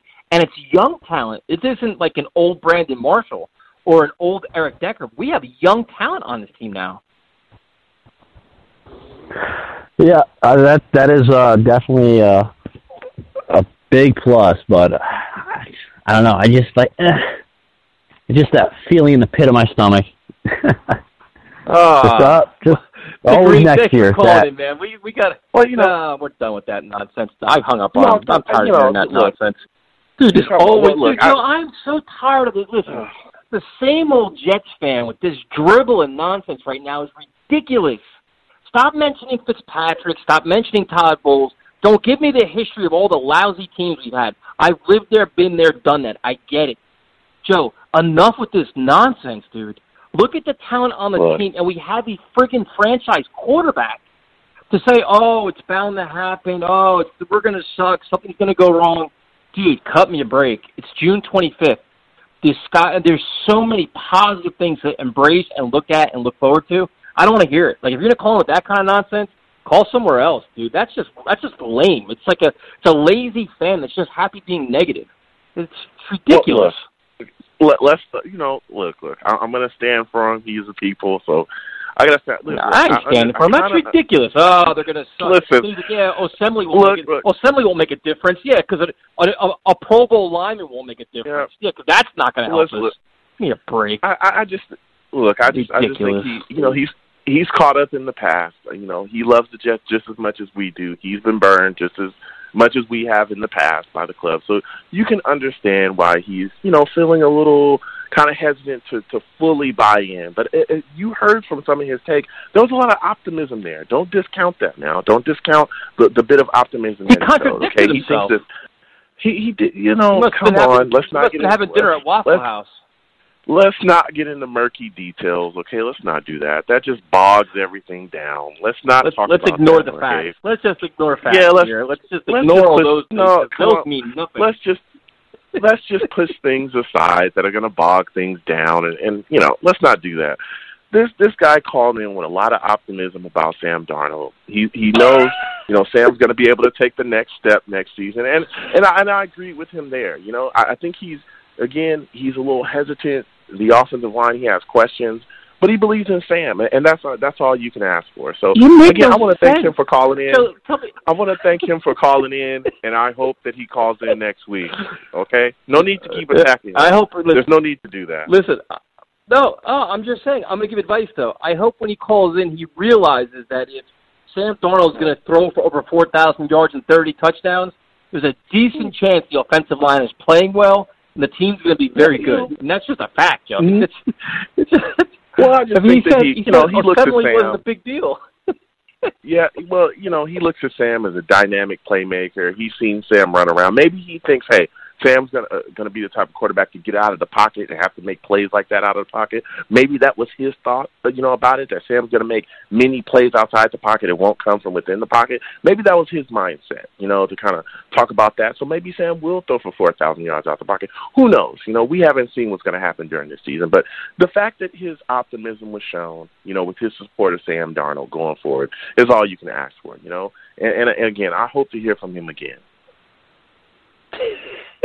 are you running for Are you running for office, Joe, or something? Or have you become like a politician no, now? look, Like, man. what are you? What are you? No, are you going? Are you going all. for like the board of directors? What are you going for? I, I like to know what's going on here. No, no. Listen, man. Look, I'm a man of the people. Listen, I Are stand you a for the presidential people. I support them.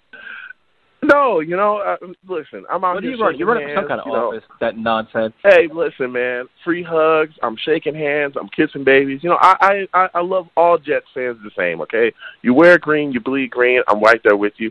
I understood, you know, most of he, what he was saying, and, and his heart was in the right place, and that's all you can ask for. You know, for people that call in and want to share their takes here. I just, you know, there's no need to attack them. You know, I know you want to get after people, I know you want to rip I'm their heads off. But I, I'm not gonna. I'm not gonna I'm allow not you to do that. I'm not gonna allow just- you to do it's that. You did it's just a. You criticism. No, yep. I just doesn't and, and I, like I me. said, listen, like I said, I but I understood some of the things he was saying. It's just you know some of the other stuff. There was some some questionable things, but again, we don't get bogged down by those things. No, let's not get bogged down by murky details. Let's talk about the positivity that he showed. I'm gonna have to watch your social media account. You're clearly running for office or something because you're being very, you're being way too nice. There's something up with you. I don't know what your agenda is. You got some kind of agenda. There- Now we can't criticize callers. I give up, man. This is the best part of the show. no, you know, look, look, we can, we can criticize people. You know, we definitely go after people. People calling and go after us, but you know, he was trying his best. You know, I I, I had to stand for him. I tried my best there. You know, and and you know, it it is what it is. You know, I'm hoping to hear from him in the future. But you know, uh, the, the four thousand yards, thirty TDs, that was that was a tough one to kind of throw out there, and then continue to say the offensive line would struggle. But you know, it, it is what it is, and, and I'm excited about you know him being so excited about Sam Darnold. Yeah. Gotta watch your social media. Something definitely up with you. You're running for office somewhere. So, all right, we'll go back to the phones to bring in the man, the myth, the legend, Mr. Steve. What's up, man? Hey guys, how you doing? No, the question is, how are you doing? I'm doing good. How are you doing? I'm doing great, man. And, first of all, I want to thank you for helping us promote the event, man. I definitely appreciate that. It's uh, it's a great event for a great cause, and it's nice of you to do that for us. Yeah, no, no, it, it's definitely going to be a fun event. I mean, you know, you know, it's just not about meeting Elijah McGuire and Jamal Adams. The best part about the event is, is that you know you get to see all these kids come and meet like these stars. And I mean, I mean, Yeah. Jamal Adams is a star. You know, Elijah McGuire is trying to rise the occasion. It's going to be a fun event, and you know, I want to thank Jay, Jay, you know, for for inviting me to the event. I mean, this is definitely going to be a really really fun day. You know, meeting Jamal Adams is like a dream. Uh, was like a dream for me because I know he's such a great person to meet to meet off the field. But you know, as you guys were talking about training camp, I mean, here was the thing. I wasn't really a fan at the time, you know, when the Jets were in Hofstra. But I always remembered back in those days when they used to have training camp in Hofstra, how the Long Island Jet fans had a great time there. I mean, the Jets were always there for a couple of weeks before, you know, they went to they went to before Florham Park opened. I mean, it was a great. It, it, it, I mean, it, it does stink this year that you know there's only five open practices. I mean, you know, luckily we do have the green and white scrimmage again this year, which is going to be held back at High Point Solution Stadium at Rutgers University. That's definitely going to be a fun event. And then, you know, I want to give a huge shout out. It was such an honor, you know, to hear from number 29 himself, Bilal Powell, who is now the longest tender current Jet on the team. I think this is his ninth season coming up, you know, in the green and white. You know, the most game that I will always remember him for. And believe it or not, it was actually the very first time when I won fantasy football that week. It was in week four in 2017 against Jacksonville. I mean, I'll never forget that 75 yard touchdown run he had against the Jaguars. And, you know, to shout out to number 29, I can't wait to see you again this season. Yeah. And Steve, man, I want to thank you for calling in. You're a phenomenal caller. I could not wait to talk to you this week. And you're already bringing the fire with your fire takes. Look, you look at the situation, like you said, with the camp, the fact that they're cutting these practices down and kind of taking away those experiences with fans, it really sucks. Um, you know, I'm hoping they change that because, again, I think that that's really going to hit at the young fan base. A lot of these kids that can go out there and really create those moments. It's it's just a shame that they, they that that this going the way that it's been going. But you talked a little bit about Bilal Powell, and that's what I want to talk to you about, man. What kind of impact do you think he'll have on the field as far as you know having having a being a safety net for Sam Darnold? The way of how I see this is is that on certain plays is when Bilal Powell is definitely like on the field, like I would love to see him and Le'Veon. Like maybe Bilal Powell could play in like the backfield. And one thing that's so special about Le'Veon Bell is he's a very good. He's very very good at at like playing also as a receiver at times. I mean, because you know he's a threat not only to run, but he's also a huge threat to catch the ball. I would like to see those two on the field at the same time. Yeah, and that's the one thing. If you listen to Powell's interview, he's really excited about how Adam Gase is going to use all these guys, put them in space, move them around, you know, take advantage of mismatches, which is something that we begged this team to do for probably about 80 years. So that's super exciting. Steve, what is, what is your thoughts about this defense now? We keep talking about it, but slowly but surely, the concerns about the cornerback position seem to be growing. Where it's like, all right, know, we even had a caller earlier saying, listen, you know, the best way to attack this defense is spread everybody out. Go, you know, go four wide, go five wide, take advantage of our weaknesses. Is that a concern for you? It, it definitely is a concern. I mean, we've said this before so many times this year. I mean, the cornerback situation is still an issue. I mean, we don't know what's going to happen with Trumaine. I mean, I do like the guy Poole who we got in the off season. I think he's definitely going to bring an impact. But you know, I really like this defensive line we have. I, I especially love the linebacking corps. Especially love the addition of C.J. Mosley. A lot of people uh-huh. still think that to this day that we gave him so much money, and I'm going to say this again. C.J. Mosley is not one, two, three, a four-time Pro Bowler. How could anyone not be excited about having a four-time Pro Bowler on your football team? How? Mm. This doesn't make sense. No, it, dude, it, it doesn't. Steve, you're you're bringing the fire. You know, and, and one thing aside from the cornerback position, I know there's a lot of fans that aren't necessarily sold on our our pass rush. You know, we did get Polite, but some fans are saying ah, that wasn't enough. What are your thoughts on that? And if if the Jets do struggle to get to the quarterback this year, do you think we'll be able to survive that defensively? You know, I mean, we're going to see what Polite does. I mean, you know, I, I definitely, you know, watched his high, highlights, you know, from his days. I think he went to Florida, if I remember. I think he was a Florida Gator. He definitely has some potential of being a very good pass rusher.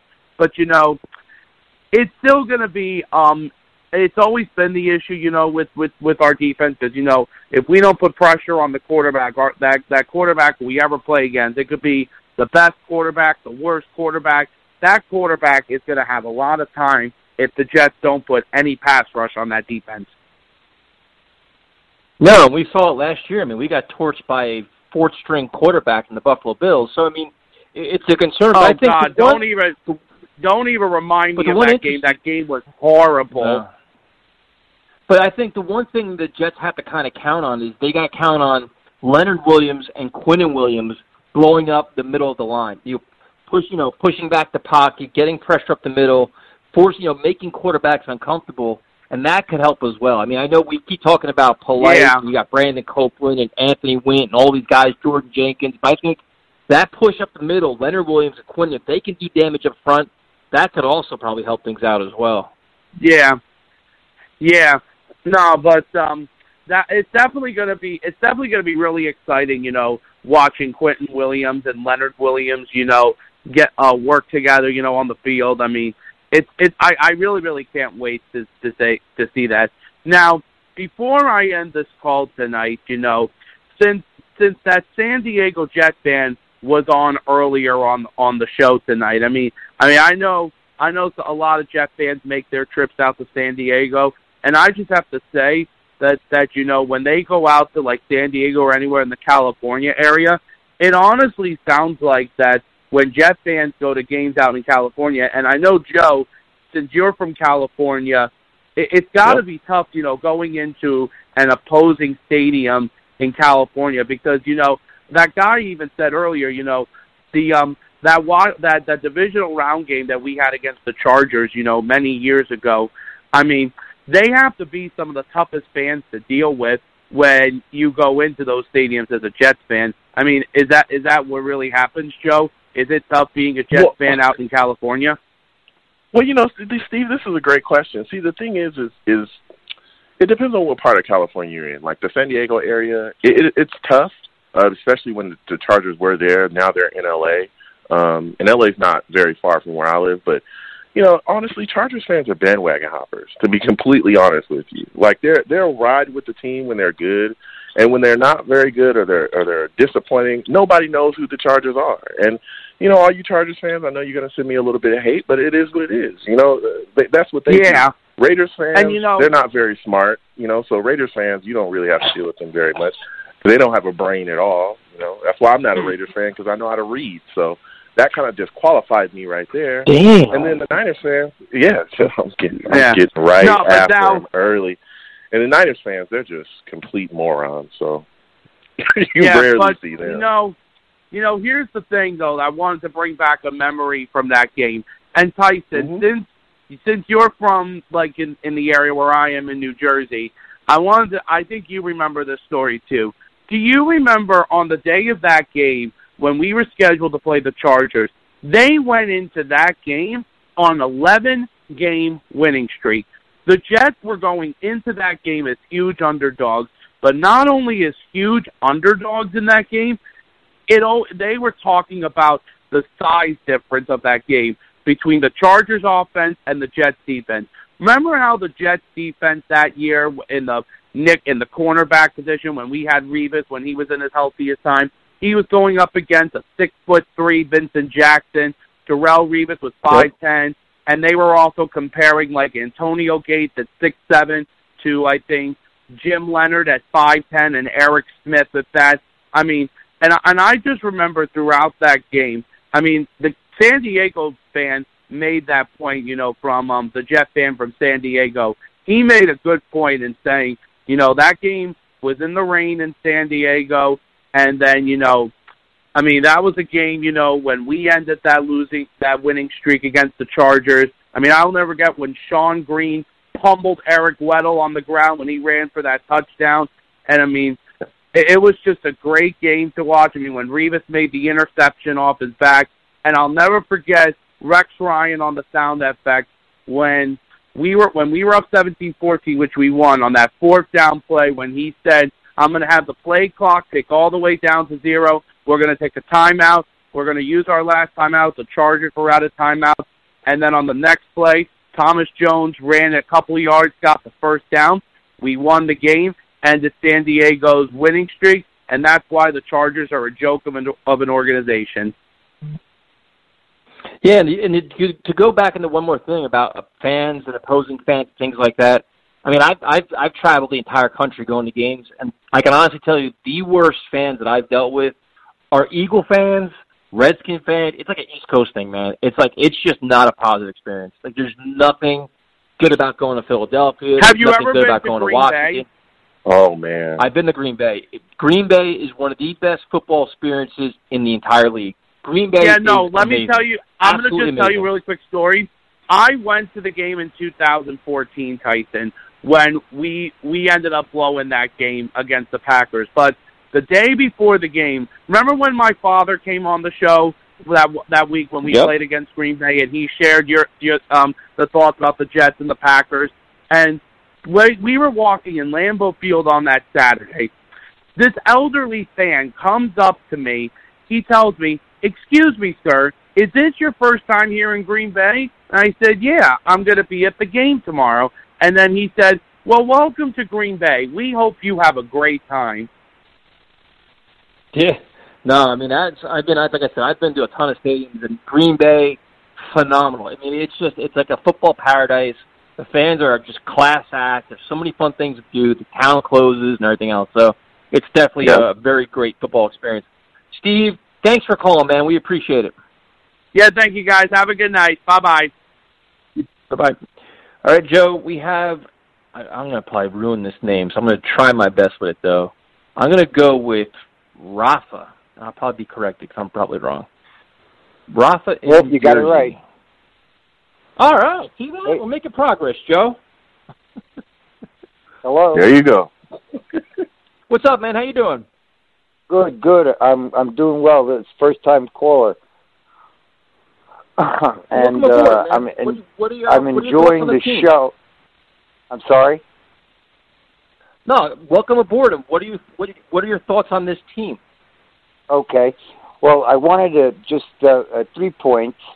Uh, the first caller that I heard, where uh, he sounded like he's been around for a while. I've been around since '72, and he said that he uh, feels like he's never felt before. And I, I, I, I got to be honest with you. I've been following the team since '72, and this is the first time since I can remember that we have a front office that seems like a real uh, organization. Uh, this is the first time that we've had this, this many weapons. I don't remember having. Uh, well, I you know I remember Curtis Martin and Thomas Jones, but I don't remember having. Uh, you know, a, uh slot receiver and a running back that uh, just, you know, all of them all at one time. You don't remember that. Two tight ends. I think Wesco can be um, uh, a threat. Um, I I've watched his film, and so uh, I'm very very excited. Uh, number two, Yeah. um, number two, it's funny how you know, and it always works this way. Luck, you know, uh, Mike Maccagnan was horrible, but he, you know, he was lucky enough to get uh, Leo and and have Jamal fall and and Sam, and it's just like you know, uh, life. Uh, that it's funny that it's his last draft pick, and he ends up picking up, you know, first round talent in the third round.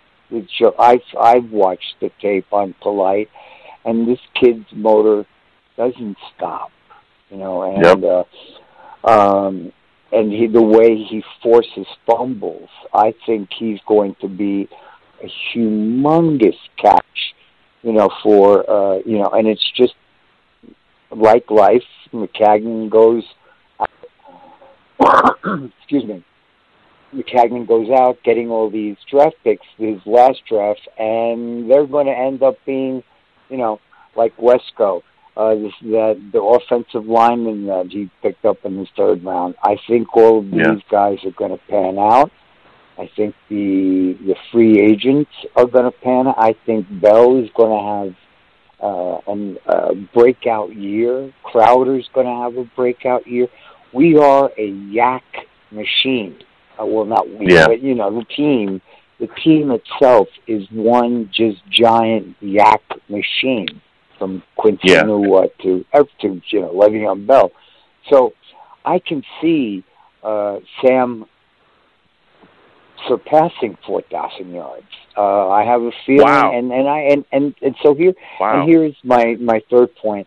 I agree with the gentleman that can't handle the negative callers. I I you know I I uh, I, I feel horrible that we have. Uh, media in this in this market like Benigno uh, that you know it's horrible, horrible, horrible. Uh, we have horrible um um, beat writers that are negative, and we have fans that have been, you know, I guess jaded. And I understand where you're coming from that you you'll accept any quotes, but I I can identify with that because after a while it gets really old. And so Yeah, uh, yeah. that, that was it. That's it. That's Yeah, all I- wanted to. Yep yeah, I, I want I want to thank you for calling in. I mean, you're you're already you know bringing a lot of great takes, and just to address you know some of the things that you're talking about. You know, I, understand you know the negativity from some fans. I think in the past uh, there's been you know a lot of, of heartache with the team. Uh, I understand why they're they're cautious, you know, to really get themselves. And I mean, if even if you look at that, you know, that first team uh, with Mack and Bowles, you know, they, they crushed our franchise records. We we all questioned the offense going into that year, and they were able to really get the job done offensively. But then just kind of flamed out when just right when they could have gotten the job done to make the playoffs. And there was so many expectations on that team. Revis was back, and Cromartie was back, and everybody was screaming, "This is our time. We're going to win a Super Bowl." And nothing happened that year. We didn't even make the playoffs. And the next year comes, and it just completely falls apart. And I mean, a lot of people really felt like, especially and it's sad to say, but when we re-signed, re-signed Ryan Fitzpatrick and got him back, a lot of those fans were thinking, this is going to be our run. Here's the guy. He proved that he could get it done last year. This year, he's going to come in and get the job done. And man, that was a horrible experience for a lot of people that really put their heart on the line for that. So I can understand, you know, some of the negativity from the fans are not necessarily buying in, but with all that we have here, when you look at we finally got a franchise quarterback in Sam Darnold, we've got an offensive minded head coach here. Like you talked about some of the weapons that we got. I think it, when they start going out there and stepping onto the field and winning football games, I think it's going to turn a lot of fans around and allow them to believe. And that's going to be my first question with you because I, I know a lot of people look at the offense and say, okay, we've got a guy to step it up. What are your thoughts about Gregg Williams and his defense? Do you think that this defense with Jamal Adams and Leo could be a top five defense? Well, I I, I got to tell you, I I'm a strict uh, Jet fan, so I this is the first year, the first year that I've bothered to watch any other uh, team. Uh, I I've been I've been binging on NFL Network, and so they show some of the old Gregg Williams uh, defense with uh, when he was with New Orleans. So I watched the game there, and and I think you know I I'm not too familiar with his defense, but if it's anything similar to Rex, um, we may have you know we ha- may have a, an extremely aggressive uh, uh, defense, which is going to be very strong from the middle. I mean, you Jamal and C.J. Mosley, and then you got Leo, the two Williams. It's um, unbelievable, unbelievable. Uh, so, you know, we got burned with Trumaine, but and I read somewhere that he didn't do too well on the OT during the OTAs, and uh, I, it's yet to be seen if uh, you know what whatever happened, you know, with with him. Uh, I hope he can bounce back, but I hope it's not where that situ where it's, it's a situation where he got paid and uh, that's it. You know, a la uh, Well, Wilkerson. Well, with yeah, with, with touching on Trumaine, this is I'm glad you mentioned that. What is your level of confidence in Adam Gase in terms of holding players accountable? I think that was Todd Bowles' biggest problem, where he talked the talk, but these players walked the walk. I mean, they didn't they didn't listen to him. They got away with murder. I mean, they they did whatever they wanted to, and there wasn't. You know, you can fumble the ball three times in a row, you didn't get benched. You could take off plays, you didn't get benched. Do you think Adam Gase will change that mindset and that culture? Absolutely. I, I I have a feeling that um, he hasn't learned his lesson uh, as far as uh, what went wrong in Miami, but you know I have a feeling he'll learn as he goes. You know, as the season goes on, and I mean the the the, the uh, quality of players that we have on this team now are are just it's uh, amazing. I I can't remember can't remember where we had so many weapons. So do I have do I have I know he'll he'll run a, a tough ship and then I also believe he's uh he'll show you know some restraint and uh and uh maybe maybe he did learn from his days in Miami but uh I I, I know one thing that this is not a uh, a Brian Schottenheimer offense That's all I have to say. Rafa, thank you very much for calling in, man. We appreciate it. Thank you, sir. And I really Have a enjoy great the night. show. You too. Oh, thank you. We appreciate it. All right, Joe. Uh, we have the really cool thing is, man, we got a lot of new callers, man. A lot of new callers over the last month, so we want to definitely appreciate that, and uh, definitely appreciate all the new followers and listeners and all kinds of things going on. If On Instagram and Twitter at Talk Jets Radio, on YouTube, Let's Talk Jets Radio. We're on Facebook, Spreaker, iTunes, all over the place. So sit back and enjoy the ride because this season, I can guarantee you, is going to be it's going to be crazy. So we will go to our good friend Tyrone. What is going on, Tyrone? Yeah. What's going on, fellas? Yo, listen, these conference calls are starting to really get on my nerves, bro. I caught I caught most of the Bilal interview and I had to jump off, man. So you talk about somebody that was that was ticked off because I got you guys on hold on one line and got to jump. Man, this is ridiculous. But I'm trying to switch the days up. I'm working on it. It's close. But um, great interview with him, man. You know, it really surprised me, man. That he talked as much as he did, man. Because I know the last time he was on the show, bro, I was like, man, it was like it was hard to get him to even talk. And Joe, man, you really, you really don't care, do you, Joe? You just being gangster tonight, huh? You just calling every California team out, bro. Like I hate to see It your is Twitter, it is, your bro. Facebook anytime soon, bro. You just don't care It's tonight, gone. bro. And I I'm gonna tell you this man. right here. That's the crazy thing. Tyrone, man, I don't Nah, give yeah, a damn. I don't you give you a damn. you sound like you sound like Tyson tonight, bro. You just you just bro, you was just calling for it, bro. I was like, wow. But um, I'm gonna tell you a bad experience I had, man. I went to a Eagles game. What like my unc my two uncles, they're old man, they're Cowboys fans, right? And my other cousin, he's a Cowboys fan. And um, I'm telling you, bro, I didn't think we were gonna make it out there, bro. Like I thought I had to fight the whole stadium, bro. I was like, look, y'all can y'all I understand y'all fans. You touch my uncle if you want to, man. It's gonna really get crazy in here. So that's probably about the worst fans I ever seen, bro. They're like they're they're awful, bro. Like I, I, I yo, they're they're different, bro. They're cut real different. But um, I'm excited about you know what I'm saying what we have right now. I'm excited about this team. Like yo, great show as always, man. So, so big up to you guys, man. Yeah, dude, the Eagles. I actually, I actually got into a into a fight inadvertently in an Eagle game. The Eagle fan in front of me and the Eagle fan behind me were fighting, and I got punched as the guy was trying to punch the guy behind me. I'm like, dude, seriously? How am I getting in the middle of this? Like, like, like, it was like Eagle on Eagle crime, and I got punched in the face. I'm like, how did you live? Oh. Like, I'm like, dude, you serious? It was, it was, dude, they're animals, absolute animals. There's just no Yeah, way around it. Like, it's just Yeah, they're they're different, dude. I, I- I'll say that, man. But you know, like at the end of the day, man, we all love our teams, man. But look, bro, like you know, I, I guess the only thing that'll probably really tick me off at a Jets game is. You know, if somebody went after one of you guys, or somebody messed with Fireman Ed in front of me. I'm pretty sure I'm gonna, Yeah. I'm gonna smack, I'm gonna smack fire out your ass, pretty much. But um, you know, like for the most part, man, like this season right here, man, I think we're gonna have a really good good season this year, man. I mean, it's not only about the Gregg Williams and the, and the Gase stuff. I just think the pieces, the players, the front office. I mean, everything's just coming around, man. I mean, I think we'll see a little adversity. But let me ask you guys a question. Did you see the Did you see the the, the comment that Kitchens made about loud coaches, man? Yep. Was that a shot at Gregg Yep. Williams, or am I just tripping, tripping? Sure the hell was. I'm just Yo, so you can only imagine, bro, what's gonna happen that Monday night game too, bro. That's gonna be straight fire, bro. Cause I was like, bro, like, do you know who you're talking to? I, I was like, wow. And then, you know what's crazy, bro? Like, I really hate Cleveland now. Like, you know what I'm saying? Like when we when we played them and we lost to them, which I don't want to talk about, but. I really don't like Baker Mayfield. Like this kid is super cocky, bro, and I can't wait for our Yeah. defense to smack him in his face, bro. I, I can't wait for it, bro, because they're gonna fall. Because like I told someone, man, I don't care how many players you get, man. Cleveland is Cleveland, bro. They always suck. It is what it is, bro.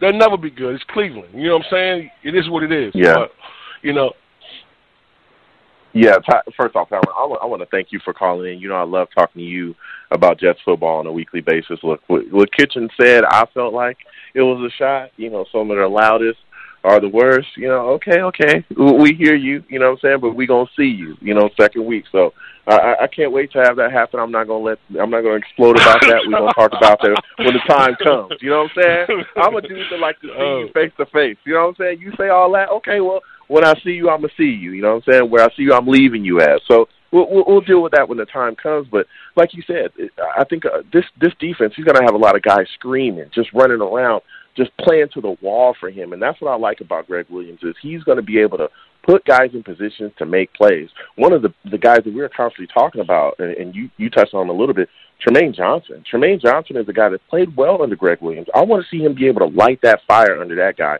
so that we can get something out of him. I mean, look at how much we're paying him. We were disappointed with his his effort and his play last season. He's got to do something this season, or we're going to be in some big trouble. But I want to get your thoughts on this, man. Is there a defensive player that you feel people are sleeping on that no one's talking about right now that is going to have a big impact this upcoming season? I, I would say it's a couple of players, man. I, I'm definitely going to say Leonard Williams. I I think people don't understand the magnitude of Quinnen Williams coming in, having that push up the middle. That is going to that that is going to make him so ferocious because you have somebody that you can't double team. You know, the biggest thing with him the last few seasons, you know, since Mo and Sheldon been gone, he's been getting double teamed. You know what I'm saying? So it's easy to key in on that. You know what I'm saying? Henry Anderson, another player I think is going to have a really, really outstanding season with what we're going to do. And also, and um, Avery, I think Avery's going to do a great job with having somebody like Mosley. I mean, can you imagine both these guys averaged over 100 tackles last year? I mean, so you got two linebackers that's going that averaged 100 ta- over. You know what I'm saying? 200 tackles co- collectively. So I, I think a lot of players are going to benefit from what we got. But I think mostly, man, I, I think the biggest thing for us is I think somebody like like Copeland, I think um Luvu, I think these guys are gonna really benefit from the push we're gonna get up the middle. That's the biggest thing everyone is not seeing. I mean, like you have two guys that are that are that can't be can't be guarded one on one and gonna be able to to beat every, almost every guard in the league. So you're going to be able to get these guys in the backfield as soon as the play starts. You know what I'm saying? And most quarterbacks going to have a problem with that, that that's not athletic or able to move off their square. And then running the ball, I think that we'll be able to really set the tone with running the ball as well. But like I said, the biggest weakness we have is our back end. But I think, you know, as players get cut and we get somebody in, I, I was watching that uh the kid from Philly last year, the um the cornerback out there, um his name slips me, but um he might be free as well. So I think that we can we can show up that back end and get another solid cornerback in. I think, man, I think it's it's going to be a fun ride this season.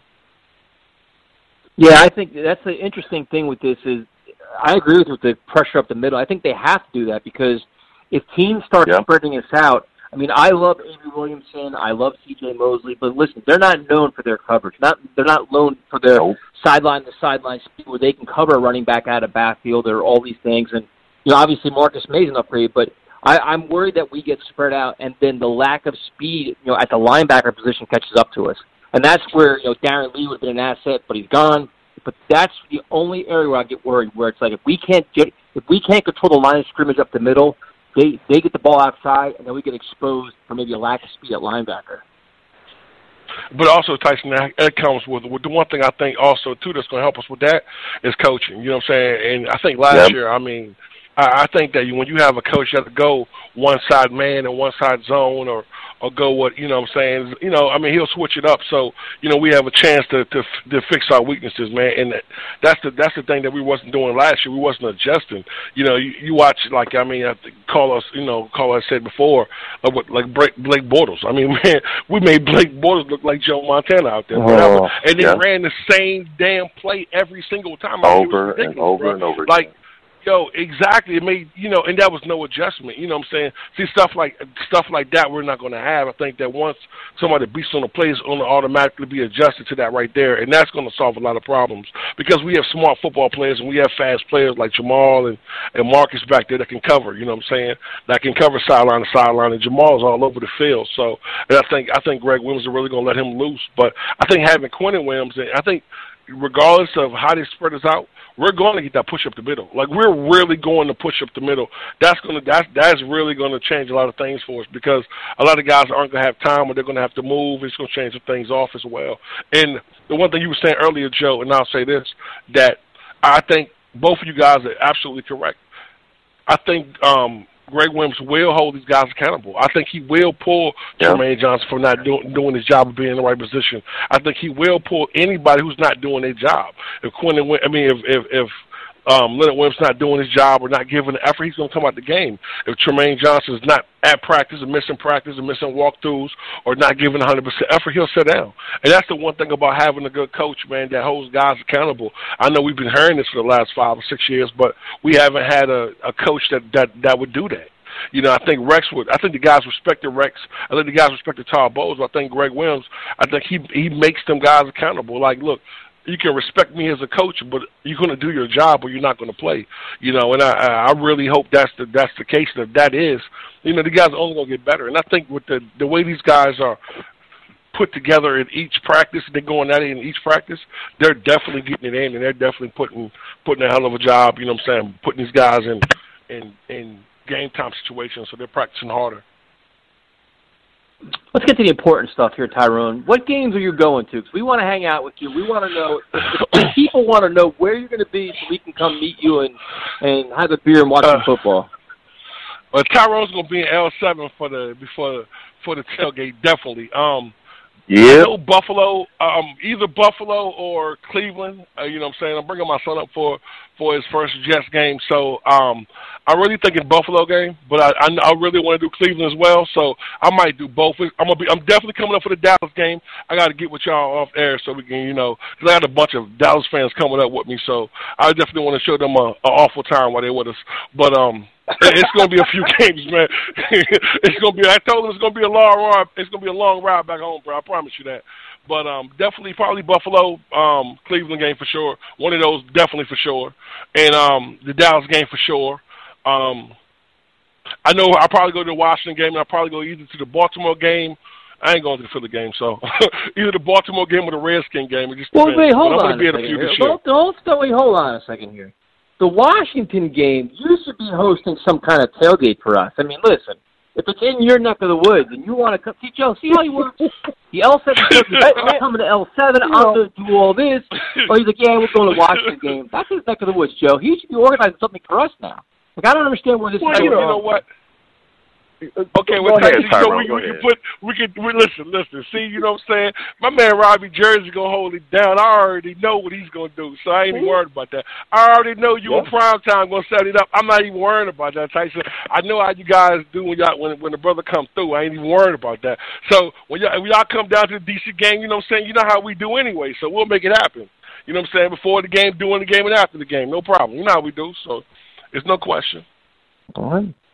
We'll be following up on this. Yeah. We want to have some kind of organized get together where we feel comfortable. We can have some good food, a beverage or ten, and have a good time. You know what I mean?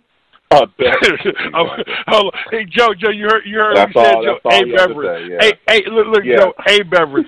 Tyson, everyone I've knows never- ain't no one beverage with you, Tyson. We know this. At all. Be multiple At all. beverages. Yeah, one. Especially, yeah. especially if it's free. Especially Yeah, if listen. it's free. It ain't gonna be no Tyson- one beverage or nothing. Tyson don't uh, Hey. some food. All Hey, he Joe, cared about Joe, was the beverages. That's it. Yo, listen, listen, Joe. I ain't even gonna be. I ain't even gonna front, man. Every time my drink was empty, I turn around. He put another drink there. I'm like Tyson. So, all right. So after I got myself nice and tight, I just kept giving him. Here you go, buddy. Here you go, buddy. Here you go, buddy. Yeah. Yeah. he never said no. Ever Yeah. said no. I mean, the party over. He- Nah, man. What we doing next? The party over, Tyson. Nah, it doesn't matter. Let's go. so you already know Yeah. what it is. That's that's that's Tyson, man. Hey, man. On to the next bottle. Left and right. On to the next bottle. Whatever you got. Got another one? Yo. Is that a can? I'll take that too. That's Hey, Tyson. hey, you know Yeah, it's- especially if it's Hey, free. you know it's Hey Joe, you know it's bad when everyone else quits drinking but him. He's like, Oh. Nah, I ain't done yet. No, no. That's one thing I can't do about that. He ain't no quitter. He and ain't then no he quitter. gets up at like quit it now. seven thirty in the morning, bro. I Nope. didn't get up till like eleven forty that morning. I was late. He was up at like seven thirty. Like, yo, who does this? Like, so that guy. I got to cover practice, bro. man. I got to cover practice. We're professionals, man. We cover practice. We're there for a reason. Yeah. Plastic I get- round. hey, look, bottle man. after bottle. Yo, man, yes, sir. Boy, he's a he's a true champion, bro. Listen, if you have never in your life partied with Tyson, I promise you, the first time is the best time, and I promise you it won't be the last time. Guarantee you that. Stop, thanks for calling it, man. Hey, fellas, appreciate it. Love you guys, man. Jets up, baby. You already know what we do.